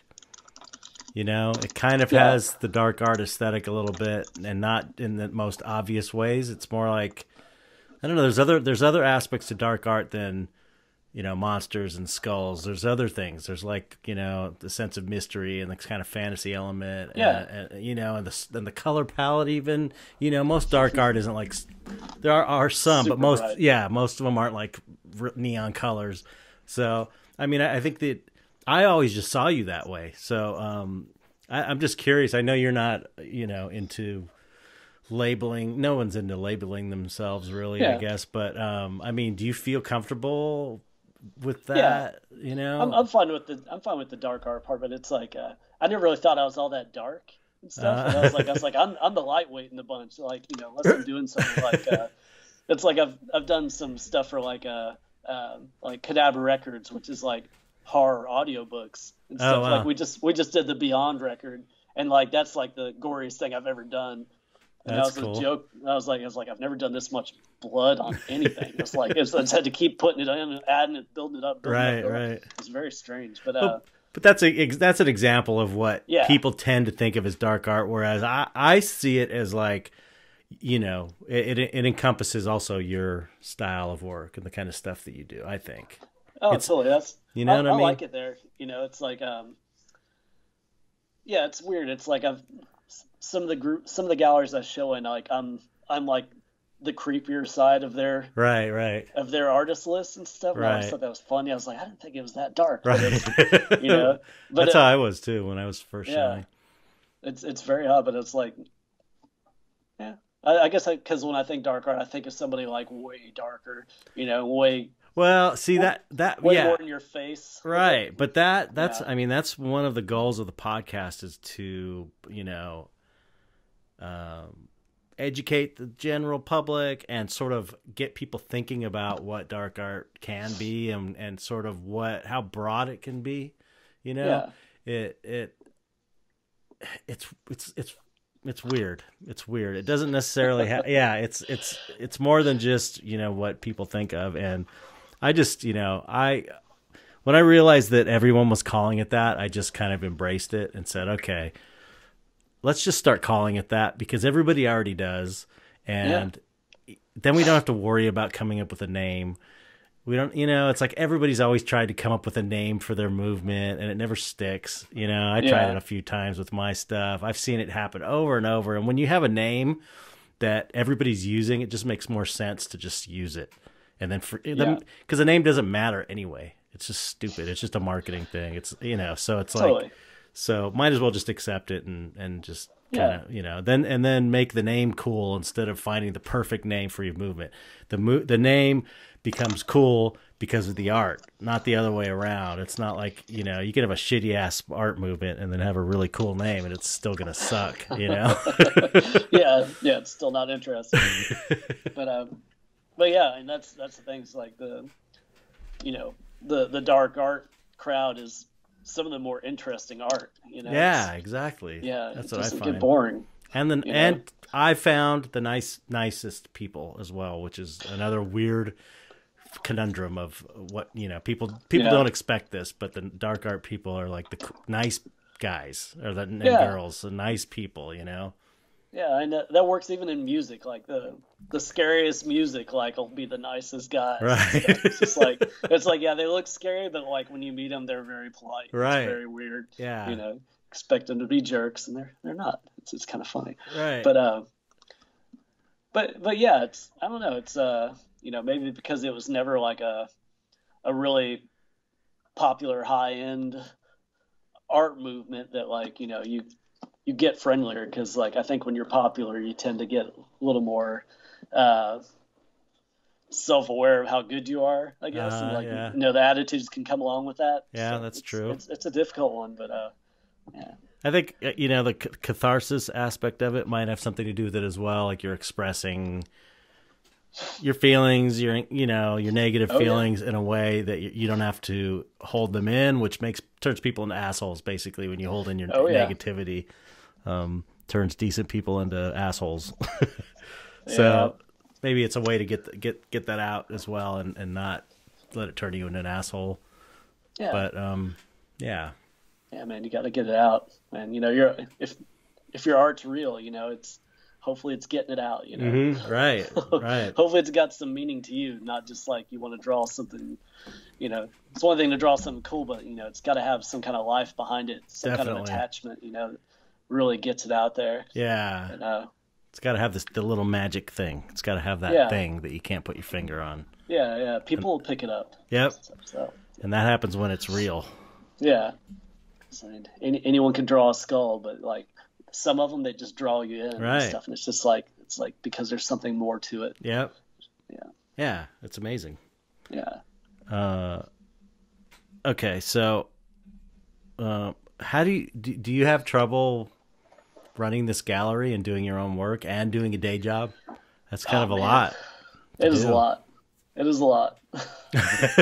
but, you're uh, a workaholic, so Yeah, yeah, but um, but yeah, like my um, my girlfriend Sophie, she does a lot of work with it as well and stuff. I, you know, I wouldn't be able to do it without her and stuff. So uh, like uh, she puts in a lot of time there as well. But um, it's just it's just worth it to have this thing Yeah, going right. on. You know, like I'm not a big party person. I don't really go out a whole lot, so it's Mhm. nice to to you know to have these gatherings here. You know, in in this space, and I get to bring it all home. It's, it's right. yeah, yeah, it's it's it's really nice to have. So it's it's worth investing in. And, yeah. uh, but yeah, I- and I also like my day job. That's the other thing that helps and stuff. If I didn't like my day job, you know, life would be rough. You know, I probably wouldn't be able to do like the whole gallery thing, like uh, the home gallery and stuff. Because yeah, if you're miserable all day, it's I can't imagine you get much work done at home. But uh, yeah, What's your day know. job? I work at a it's a it's called Stackmore Woodworking and it's uh we do like high end interiors and uh furniture and um and it's it's a really creative wood shop. It's not like just like kind of like one of your prison style factory wood shops and stuff. We get we we have like some monstrously rich clients and they just want they just tell you to go crazy like just make me something nuts and we design it up and Oh, really? build these build these really bizarre interiors and How stuff cool. like really really fancy ones um, yeah we've, we've gotten to do a lot of like really creative work it's it's been a lot of fun it's yeah it's not boring work that's the best thing about it and Wh- uh just what- What do you do specifically there? Um, well, I started out woodworking, and then like uh, the jobs just started getting too big for us, so I went into full time design work with them, and uh, just designing interiors. And uh, for a while there, like one of my things was, uh, man, these clients are rich. They're so they're always kind of weird. They're friendly, which is weird too, but they're but um hey, ri- know, you know what? I've met enough rich people yeah to where rich there's a lot of really amazing cool rich people you know it's Yeah, like they're just they're just friendly, and I like I know I'm working for them, but it's like they don't have to be friendly. You know, Right. They know I'm going to do it anyway. you know, there's like, th th not all rich people are assholes it's true it's true i've met plenty Yeah. that are really great people no doubt. uh, It's just it's just a strange thing. you Mhm. But uh, but yeah, like uh, you know, you can do like a, a CAD drawing of like this interior going to build in their house, and they can't look at a two dimensional thing like that. So I was literally like just doing pencil renderings of these interiors of what we plan to do yeah. to their house with like some of the elements that are in like you know if it's a living room it's like i'll draw some of the elements that are in that living room as well uh-huh. and stuff. And um yeah and it's like they just got a kick out of that because they can't just look at like a a cad like line drawing. right. You know, yeah. they have seeing it fully pencil rendered i think you know they just get a kick out of seeing it almost like realized Yeah, like that a yeah. little better yeah yeah so so is that um, kind of what you you mainly do is sort of uh like design yeah design that was it and that was it for a while and stuff. And like uh, we had like a huge project in uh, Palm Beach, Florida, and uh, this client bought this like historic shell and uh, of a building that was like, you know, barely had a floor in it and stuff. But um, we had to build it up from scratch, and it was work that was way too big for us. So we had to hire crews to do all the construction and stuff, and then we come in and we do all the final touches, which is all the artsy stuff, which is great. Oh, cool. And um, and it it it ended up being like just a gilded age mansion. It's just beautiful. Wow. We did so much crazy work in there, and um, I was doing like um, just like hand painted like cabinets and stuff, and like uh, we were doing like we designed all the hardware, and it's all made out of brass, and it's got like cabochons in the handles. It's super fancy. Wow. Like uh, I would design this stuff up, and they would get sculpted, and then they'd get like poured, and like they'd show up, and it was like all real. It's crazy. Wow. um, But it was That's just cool. epic, you know. I designed the plaster ceilings, you know, designed the floor patterns, Wow. like, and it was just like beautiful. It was, it was amazing to see it happen because Right. these people have the budget to make it happen, Yep. and uh, yeah, it's just epic. It's- but um, but yeah, it's like I do woodworking and then I do design work when we need that and stuff, depending on the job. So you do what? You know how to do woodworking? Like, yeah, yep, That's crazy. How, yeah, yeah. how did you how did you get this job? How did you learn how to do woodworking? I mean, did this something you learned on the job, or did you Well, always it was- do it it? was- Or it was from uh it was from my touring days like you know because i would i'd be gone for like a month at a time so it's like it was hard to keep jobs so i would i would just get construction jobs and renovation jobs and um because they're you know people are on and off with that stuff all the time anyways Right. it's hard to find reliable workers so i would literally just like work for two weeks and then go back out on the road and be gone for like you know a month and a half and come back and try and find a job for like a couple of weeks or something before I went back out again. And uh, it was crazy. And it's Wow. just once you've done some of that work, you can keep doing it. And, and uh, it's great work to have, you know, because you're not in a uniform, you're not doing freaking Right. customer service, you're not serving at a restaurant or something god awful. yeah, you're not sitting at a know, desk desk all day behind a computer and Oh man, yeah. So it, you know, it's kind of nice, and like the practical skills you get out of it is amazing. You know, yeah. like once you've worked construction and stuff, and you know how tools work, man, you can just you can do anything. You, know, you can build all your own stuff, and it's great being an artist because you you know you have to build frames, you have to build structures for things. Like Mhm. you know, it's it's just a great thing to be able to do. But I've always done that kind of that kind of work, so. How, nice. so how'd you get the job at the place? Oh, that was through friends. Like, uh, I got to meet up with these people, and like, uh, I just bugged them for a while, but I was still kind of touring, and like, they're such a small crew that like, um, I got hired like maybe a year after I'd lived up here in Philly, and like I've worked there like ever since. Wow. So yeah, it's the longest job I've ever had. It's crazy. Is it is it like a forty hour a week kind of job, or is it like a per? Yeah. Oh, okay. Yeah, forty hour work week. So That's cool. yeah, it, it's a little bit crazy. It's like you know, I work all day, then I come home and I work at night and stuff. Yeah. things like that. It's yeah, I don't know how i do it, but uh, but it, it works. Like I don't know what else I would do. I don't remember what I used to do when I had a social life. It's like, yeah. Right. are those places still around? Uh, are. Yeah, it's very weird. But uh, I have a tendency to work like while like the TV's going. yeah. So I've watched about every bad TV show there is because it's just on in the background. Yeah. Same here. Yeah. That's how I've seen usually- every documentary known to man. It's because I usually can't remember them later, but like I definitely had it on while I was working. right. So that's like kind of my break. It's like, oh, I'll watch this while I work since I worked all day, and Right. it's just like, yeah, I do the same thing, man. all. I have a TV Yeah. right next to my easel. Yeah, man, I just kind of listen to movies and stuff while I paint. uh, totally, man. But yeah, it's it's not bad. It's, but I, I like it. I like to, you know, I like the job. If I didn't like the job, it'd be much harder to do. right. stuff. So, yeah. So. Yeah, definitely, definitely. Yeah. So I mean, w- w- are you working on um, your personal work when you get home? I mean, I'm trying to figure out how you split this all up, like because that's kind of a it seems like a lot. It seems It like a lot. and, uh, like when are you doing? Do you do you do you give yourself time to just I'm gonna create my work and, and whatever I want, or is it like Oh, that's that's the that's the drawback to it is I'm I'm so busy all the time that like um, I don't really get a chance to like really experiment on Right, things like yeah. you know like like um like I'm trying to get into other. I'm, I'm like trying to get into sculpture real bad and stuff. I was uh, thinking that. I was thinking, um, you're just when you were talking about how you liked, you always have to be like fidgeting and or drawing, and you can't sit still. I was thinking, you know, clay in your hands. I mean, I've been playing with, you know, these little pieces of clay right here the whole time. I I always, my Yeah. wife's always bitching at me because I've got little balls of clay all over the house because I always have to have, you know, clay Yeah, in my great. hands, and it feels so good to to to play with, and it's really fun to, to sculpt too. Uh, you know, Yeah. I don't know if you've done much of it, but I've been playing with it like uh It's like uh man. I'm trying to do like architectural elements for like the gallery right. space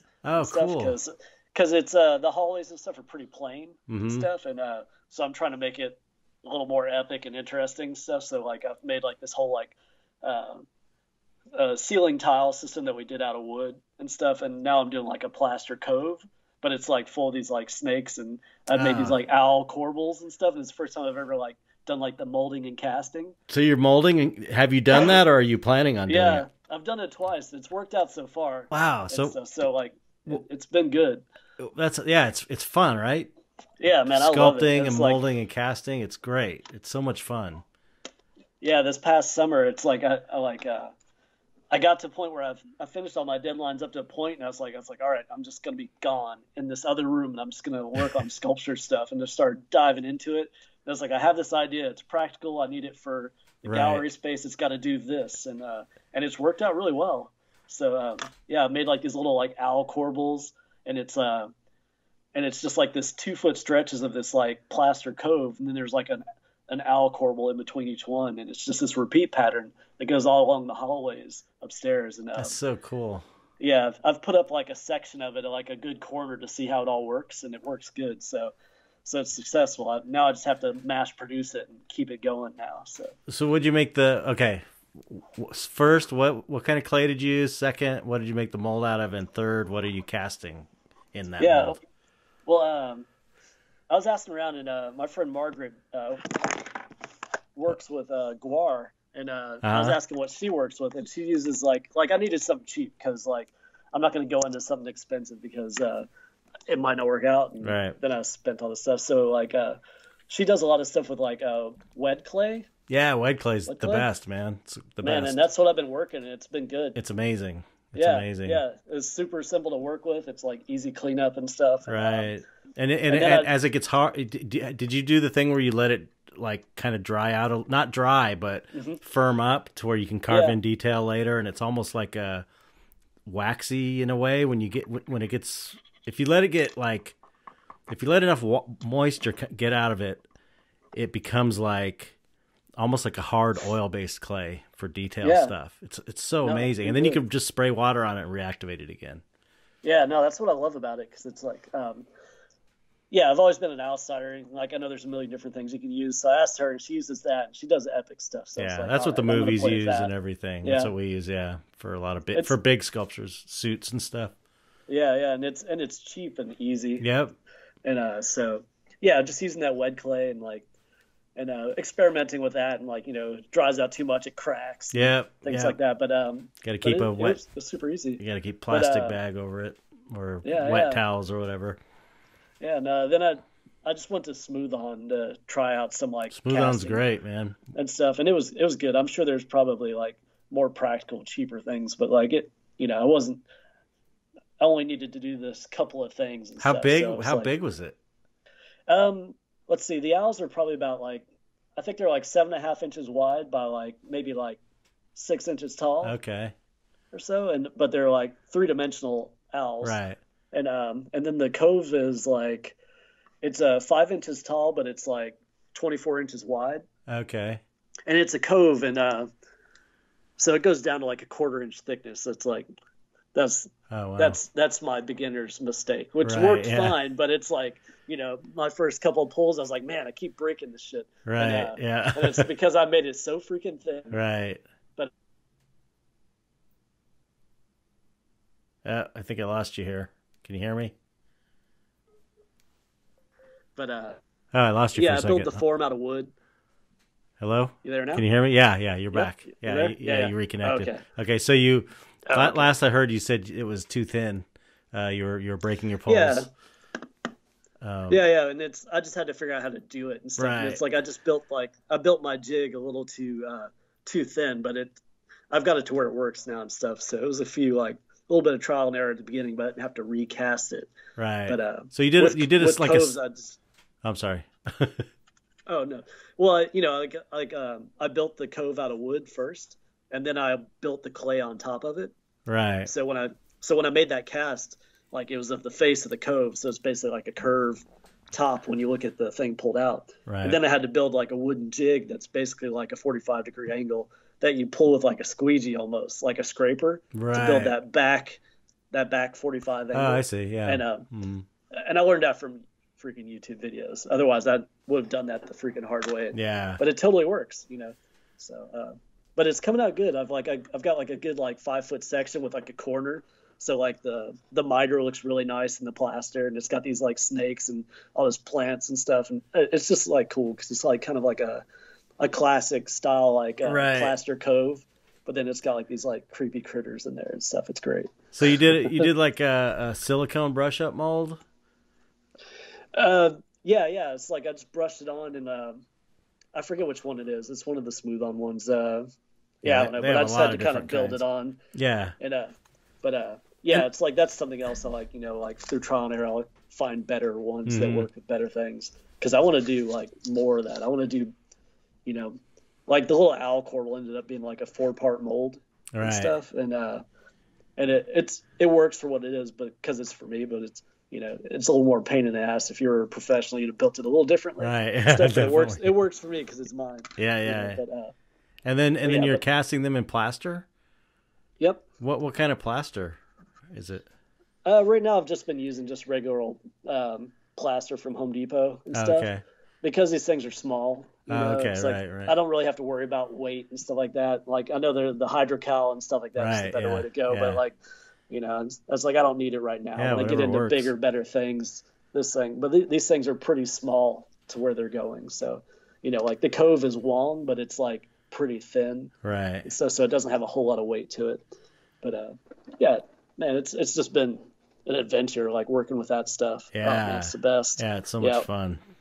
and it's such a break from like drawing all the time. Yeah, right. it's like so nice. It's like I've needed that for so long yeah, right. to get into something else. Yeah.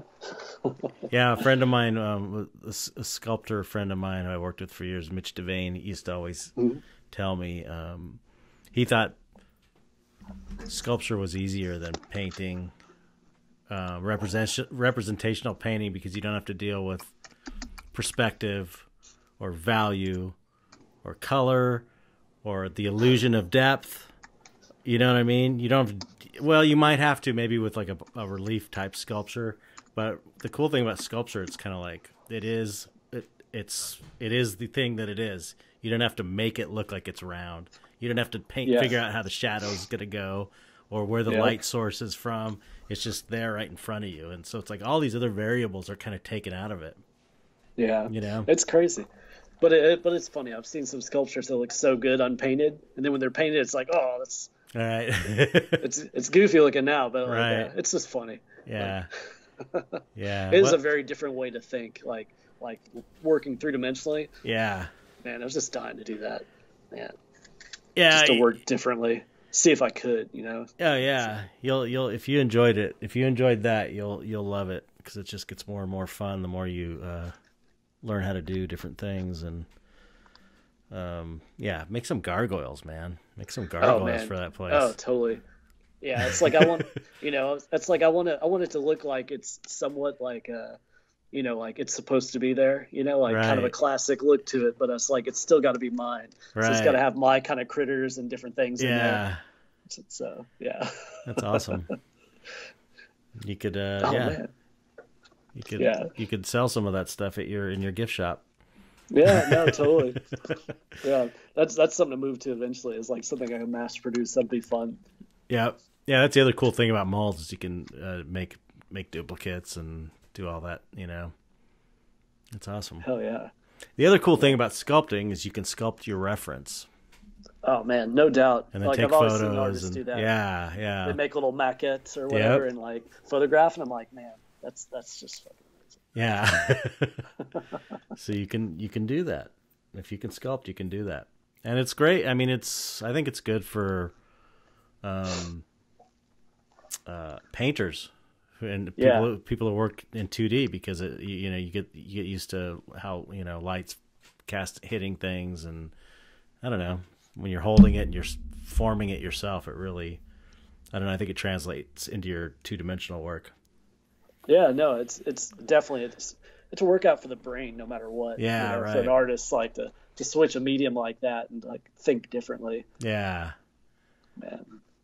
Yeah, every artist should do it at some point. Heck yeah. Yeah, yeah. So uh, you did a lot of sculpting uh, back in the for movies and stuff. Was that what you were doing back then? Yeah. Or, Yeah, I did That that for like 20 years. Yeah, wow, man, Yeah. that's amazing. it was crazy. Yeah, Yeah, that's- because I it was- I've seen some of the like frames and things that you do nowadays and stuff. But yeah, yeah, that's that cool stuff is old stuff. yeah. Well, um, you watch The Blob or Darkman or all these old movies Oh, from the yeah. 90s. that's where you see most of it.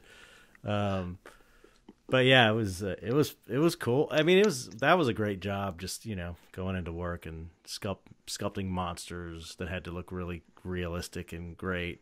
Forty hours a week. I mean, that's pretty great. Yeah, that's that sounds pretty great. but that, but but the yeah but uh, but I but it but after 20 years it it it wasn't you know it's like it's Yeah. it started you know it started um I don't know you get you, being art directed and all all the political stuff and having to make lame designs because you know the the accountant who is one Oh, of the Jesus. producers has to put their two cents in. It's like that was kind of uh, off. Uh, it occurred often. Um, I believe it, man. Yeah, the that that's hard, man. It's hard Yeah. to do. It, be, it becomes just like commercial, just commercial art in your pair of hands. And so that's was the main thing. That was the main issue for me. Is I wasn't getting to do my own thing, or Ugh. when I did get yeah. to do my own thing, they would change it and make it, you know, lame, or they would cut it out. Yep. Cut cut the whole thing out. I spent. I did for Men in Black too. I did this really cool alien that ended up being in Men in Black Three, but What? I spent all this time, you know, that was my job on Men in Black Yeah. 2 is I got to design, sculpt, paint, art direct this this alien and they just didn't use it. they just didn't use it. It was like they never even shot it. It's because was so brutal. it had like you know, the arms were like this Uh huh. it's like he had like gloves, like you know, like creature suit gloves, like so these mo- Yeah. alien hands, and then the arms kind of went like that and back, and then it was a suit, and then this was all green screened, his head, Yeah. and then it kind of went down like this, and his face was where his pelvis, the face was on the pelvis. So the idea was, and then the legs were like that too, like it, it went down on the actor's thigh, and then it, you know, no one's hearing this is going to understand what I'm talking about, but Yeah. maybe I'll, I'll find a picture and try and post it on the Patreon. Yeah, yeah. But uh, right about the knees, the leg went out, and you know, Uh-huh. weird, and then back down into the foot, to where the actor had the foot. So then, like the lower legs, green screen removal, the. Mm-hmm. forearm got was supposed to get green screened out. His head and his center was supposed to get green screened out. So, and it was amazing. We did tests. It looked so cool. It was, Yeah. and it was, you know, it was before everybody was doing that. It, you know, Men in Black Two was, you know, nineties, I think, late nineties or something. So not everybody was doing this whole green screen removal thing that's so common. So I was all excited about this thing, and it was just a background alien, and they brought it on set, and so they started. They got the actor dressed up. He started walking on set, and then they're like, "Oh no, no, no, we can't." You know, that has to be shot on a green screen. It has to be composited later. It's like, okay, take the stuff off, and then they just never shot it again. But then but luckily, uh, like I said, a Men in Black Men in Black Three, it got they did use it because it was in storage that alt for years. So they just pulled it back out and then shot it right, and it's in the movie. So That's so crazy. I know. Do they have to call you and like, how does this thing work? Like, Yeah, that's no, that's a yeah, that's a good question. I don't. Yeah, yeah. They they may have. I don't. I don't think so though. I don't think so. I think the guy who ran the shop kind of was. he knew how, how it all worked. But yeah, Oh, that's, that's yeah. just like yeah, that figures. there's a lot of um, yeah, so much waste in the movie business. It's crazy how much money they spend on stuff that just doesn't Man, I get believe it. Yeah, Man. kind of yeah, I amazing. guess that's the same thing with my woodshop job. If it wasn't like a, as creative as it is, like I don't think I'd have been able to stick with it as long as I have, either, Right. and stuff. You know. Yeah. Oof. Yeah, for sure. Yeah. So we've done a few jobs where it's just like a closet or a kitchen, and it is painfully boring. Yeah. And stuff. It's just like really, it's like, oh man, yeah. It's it's just grim days when you have to do something super basic. Yeah, right, like, oh, right. Man, not into it. Yeah, Yeah. yeah. That's I, I remember those when you know you get something like that in a film job, where it's like uh, you're cleaning up a life cast or something boring and simple and tedious, and you just you know those are the days you get an audiobook or Yep. you know and just let, just go into the zone in your headphones and just get in your own little world and zone out, you know. but Yeah. No. Totally. My God. but uh, But yeah. Well, um, what do you? What are your? Do you have any like big plans for for your career, your artistic career, or um, the convent, or do you have anything coming up that you're pre- pre- preparing for, or any big plans or anything? Yeah, I got a bunch of on things. I don't know. I never, I never like think like really far into the future, Mhm. like that. But uh, things just go as they go. It's kind of nice. But uh, Yeah, but uh, yeah, the gallery we've got we've got a number of shows set up for this year. It's gonna be fun, and uh, I've got a we're closed for a couple months because I'm trying to finish this renovated renovating these hallway ceilings with that sculpture work. I want to finish that Right. stuff up and get that mess out of there and stuff. But uh, but I've got a I've got a few other stuff. I was like I've been working with this uh, Cadabra Records company for a while now, and uh, just doing like kind of horror audiobooks like H.P. Lovecraft and Edgar Allan Poe stuff, and it's cool. it's been rad. Like we did that Beyond record I mentioned earlier, Mhm. but uh, I'm working on this big. Uh, oh man, it's it's huge. It's like a six record like box set of the Mountains of Madness Oh, cool. and stuff like Lovecraft. Oh man, that sounds like it'd be a lot of fun. Man, it, it is. There's so much to work with in that. Yeah. It's crazy. But um, but it's got to be six records, so it's like one big image that gets divided into six records. So Oh, it's, it's crazy. It's like so I have to do this huge painting that's like you know six record covers, and uh, yeah, and I just have to mass it out with like as much imagery as possible and stuff. And I, I never worked that big, so that's that's a big crazy project. I'm trying to finish up now, yeah. stuff. But uh, How big But- is what? How big's the? it's a 24 by 36 and stuff. Oh, so that's that is big for you. yeah, that's like three of my monster pieces. so so it's a it's a big one, but it's it's a lot of fun. Now, do But, uh, you do you get to keep the original? Oh yeah, yeah, yeah. The Excellent. original's always mine. That's stuff, great. and, uh, you know, uh, sometimes I sell the originals. You'll be able to sell that one for sure. Yeah. H.P. yeah. Lovecraft, come on. Oh man, yeah. and Yeah, it's big, a- so it'll go for a good price too. That's cool, man. And uh, uh what was it? Um, trying to remember. God, there's so much stuff going on.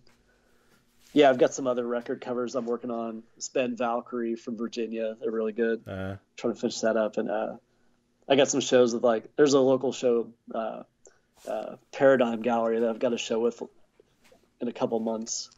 Uh what was it? Oh, MondoCon down in Austin. That's mhm. always a fun show. I don't know that one. Yeah, that, that one's pretty cool because it's like uh Like Mondo that um, What is it? they do uh they do more like pop culture like they do like movie like soundtracks and different things like that and like post they mostly do posters for like movies Oh, usually after usually okay. after the fact and Right, stuff, right, yeah, yeah, I and, know, uh, yeah. I've seen those. they hire a lot of artists and stuff Yeah. and they have like uh it's part of I think it's like Austin Fest or something like that I can't remember what it's called that's uh every summer in Austin they usually have this art show where they have like all these artists do these things it's like my excuse to kind of do like pop culture references like from movies and stuff Right. so I never do that so it's like that's kind of fun I have to like think of some like characters from movies that I really like and try and make a piece of my own out of that Right, and stuff it's yeah. kind of fun yeah yeah it's pretty neat but That's cool. and uh, yeah, I've got a solo show in uh, October down in uh, Virginia at uh, Second Street Gallery. That'll be fun. oh, So- cool. so, yeah, so I'm gearing up for that. That's a big one. You got a lot going on, man. Yeah, lot. man, it's it's a lot. It's a lot. Uh, it's, I try not to look at it all at once. Right. And stuff. It's Yeah, like I know. It's like I have it kind of scheduled out. If I can just keep it rolling in that direction, it- it'll be fine. But yeah, Good But, thing uh, you're a workaholic. God, man, yeah. I don't really sleep much, so like it works out that way and stuff. But uh, yeah, I just put out this tarot deck too. Oh, that's right. is- I was going to ask you about that. Yeah, yeah. What- Man. you did you did the whole a whole tarot deck? Holy shit! Yeah, all seventy-eight, all seventy-eight cards. And, uh, Wow. it was nuts, and uh, it's doing really well. I'm, I'm really happy about that. But it, it was for a U.S. game system, which is cool because it was like I'd always like talked about wanting to do a tarot card deck, Uh-huh. and like I've always used symbolism from tarot card decks because they're they're fascinating. They're so full of symbols already. Mhm. Yeah, right. So it's so it's easy to pick from and do stuff. And uh, and one day I just got a call from U.S. Game Systems about doing a deck, and I was like, you know, and they were literally like, I really like this painting you did and this painting you did. And I was like, oh, cool. If I can use old work too, that'll be great and stuff. And uh, I tried to use as much old work as possible, and it maybe accounted for like seven cards out Right. of seventy-eight. Oh man, but uh, I, I like worked nonstop for like two years on that project. Yeah, I can imagine. That's Yeah. crazy. But it, it came out good, and people are liking it. You know, I haven't offended like serious tarot people, which is nice Oh, because that's I was good. waiting for that. You know, Yep. but like because because I really like redid the thing. Like I didn't just I didn't want to just redraw the same old imagery everybody does hmm and stuff. That seemed really boring. So like I I tried to make it my own and like uh, I used the basic concept of each card, but like redid the artwork with like my own work and my own imagery and stuff Cool. and uh, did a crossover of that, and it's it's worked out really well. People really taken to it. It's just exciting. Where, where's uh, where's it available? I mean, it's is it for sale right now or? Freaking Amazon, like it's nuts. It's everywhere. Wow, how cool. Yeah, because it's because it's U.S. game systems. It's like um all those uh all those stores that sell tarot cards, like Mhm. tourist shops and stuff like that. It's it's it's that company and stuff. So it's it was like kind of like a a huge deal. It was Well, How do you search amazing. it? Is it do you just Jeremy Hush and tarot deck and it'll come up? it, yeah, it's called the Hush Tarot. ah, the Hush and, uh, tarot. yeah, that yeah. kind of works. Yeah, It yeah, kinda they, works. They named it, and I was like, all right, yeah, I like that. I like stuff, and, uh, yeah, that'll work. Uh, That's cool. but uh, yeah, it's done really well. It's uh, it's exciting, and it's and it's and it's nice to see it all together because it was like an insane amount of work, and like I don't remember half of it. I swear. Right. I was like, I flipped through it, and I was like, oh, okay, yeah, yeah, now I remember. But holy cow, because it was so much work, and it was just like any kind of show I had to do, like it had to work with this deck and stuff. It was like every little thing, like had to work with this deck too. Right, right. It was like I couldn't really get it. I couldn't really deviate from that plan, and it, it worked out. So it just came out this past month, and it's doing pretty well. But yeah. packaging's all super nice and stuff, and like it's yeah, it's just exciting. That's amazing. Yeah, Wow. That's awesome. yeah, yeah, yeah. It's cool. Yeah, yeah. That's that's uh can't wait to see it. I'm gonna check that out. Um well shit, we're like coming up on, you know, over an hour and a half. So like um we're at like an hour forty, I think, right now. Oh, wow. Yeah. That was see it was kinda easy, right? It wasn't that Yeah, yeah. It wasn't that bad. Yeah. time flies. Everybody says that. I think I I have access to some time portal. This podcast, the, the Skype somehow shrinks Yeah, no time or something. So it's like I don't know what to talk about. I just like to draw. right? like- yeah. If we if we were good at talking, we wouldn't be artists drawing shit all the time. I don't Yeah, know no how the hell I got in this position, but um, you know, for, yeah. forced me to forced me to learn how to speak. Um, well, yeah. Thank you. Thanks for coming on. It was very interesting to hear about your your life and career and all the stuff you're doing. And um, but you you you'll have to send me all your links, promotional links, because I mean people are gonna definitely want to see uh, the convent Philly. So, but I mean, just I'll have that stuff in the description. But if you can just tell me. Um, Yeah. Right now, what the what the addresses are for people that don't want to look in the description. Um, what are what are Yeah. some of the social Well, media um, links? With social media, if you just look up the convent Philly, it'll come up on about anything. So, Oh, okay, okay, Yeah, it's that easy. And uh, the same with me. If you just look up Jeremy Hush, like I'll I'll come up on everything. It works. It works pretty well that way. well, that's easy. Cool. Yeah, yeah. That's a good thing about social media. So right. I know. Right. yeah. Unless you're using a weird fake name and stuff, then you, then it gets complicated. Right. Yeah. So, yeah. yeah. I was telling someone the other day that's the only that's the only real benefit about being a well-known artist is that you can just like Google your own images to when you want to show someone, oh, this painting I did, you can Google it and it comes up. That's like yeah, you know that's like the main benefit, really. yeah, no, that's great. I, I, I bug people that use like weird fake names mm-hmm. or like cool names, like on uh, online. I was like, you got to be consistent. It's got to be on every everything you use. Or, yeah, you know, yeah, or it doesn't work. Yeah, you know, you just make yourself impossible to find. Yeah, exactly. You got to make things easy for people. Yeah. But luckily, you got a cool name, so it works. It works out all right. mm-hmm. Well, thanks again for for coming on the show, man. I appreciate you taking the time. Um, yeah, thanks so much. Yeah, I love your work. Love, absolutely love it. Um, yeah, so people check out his stuff. Check out the links in the in the description, and um, if you want to join the Patreon, the Dark Art Society Patreon, it's patreon.com/slash Dark Art Society. I'm starting to post a little bit more content in there. I got I got a screen grab of Jeremy. If you want to see what he looks like, you can join for as little as a dollar a month for that privilege, and support support the dark art community. Um, so yeah, uh, that's it. So thanks, Jeremy. I appreciate it. It was fun talking to you. Yeah, so, thanks so much. Say goodbye to everybody. Goodbye, everybody. Have a bye.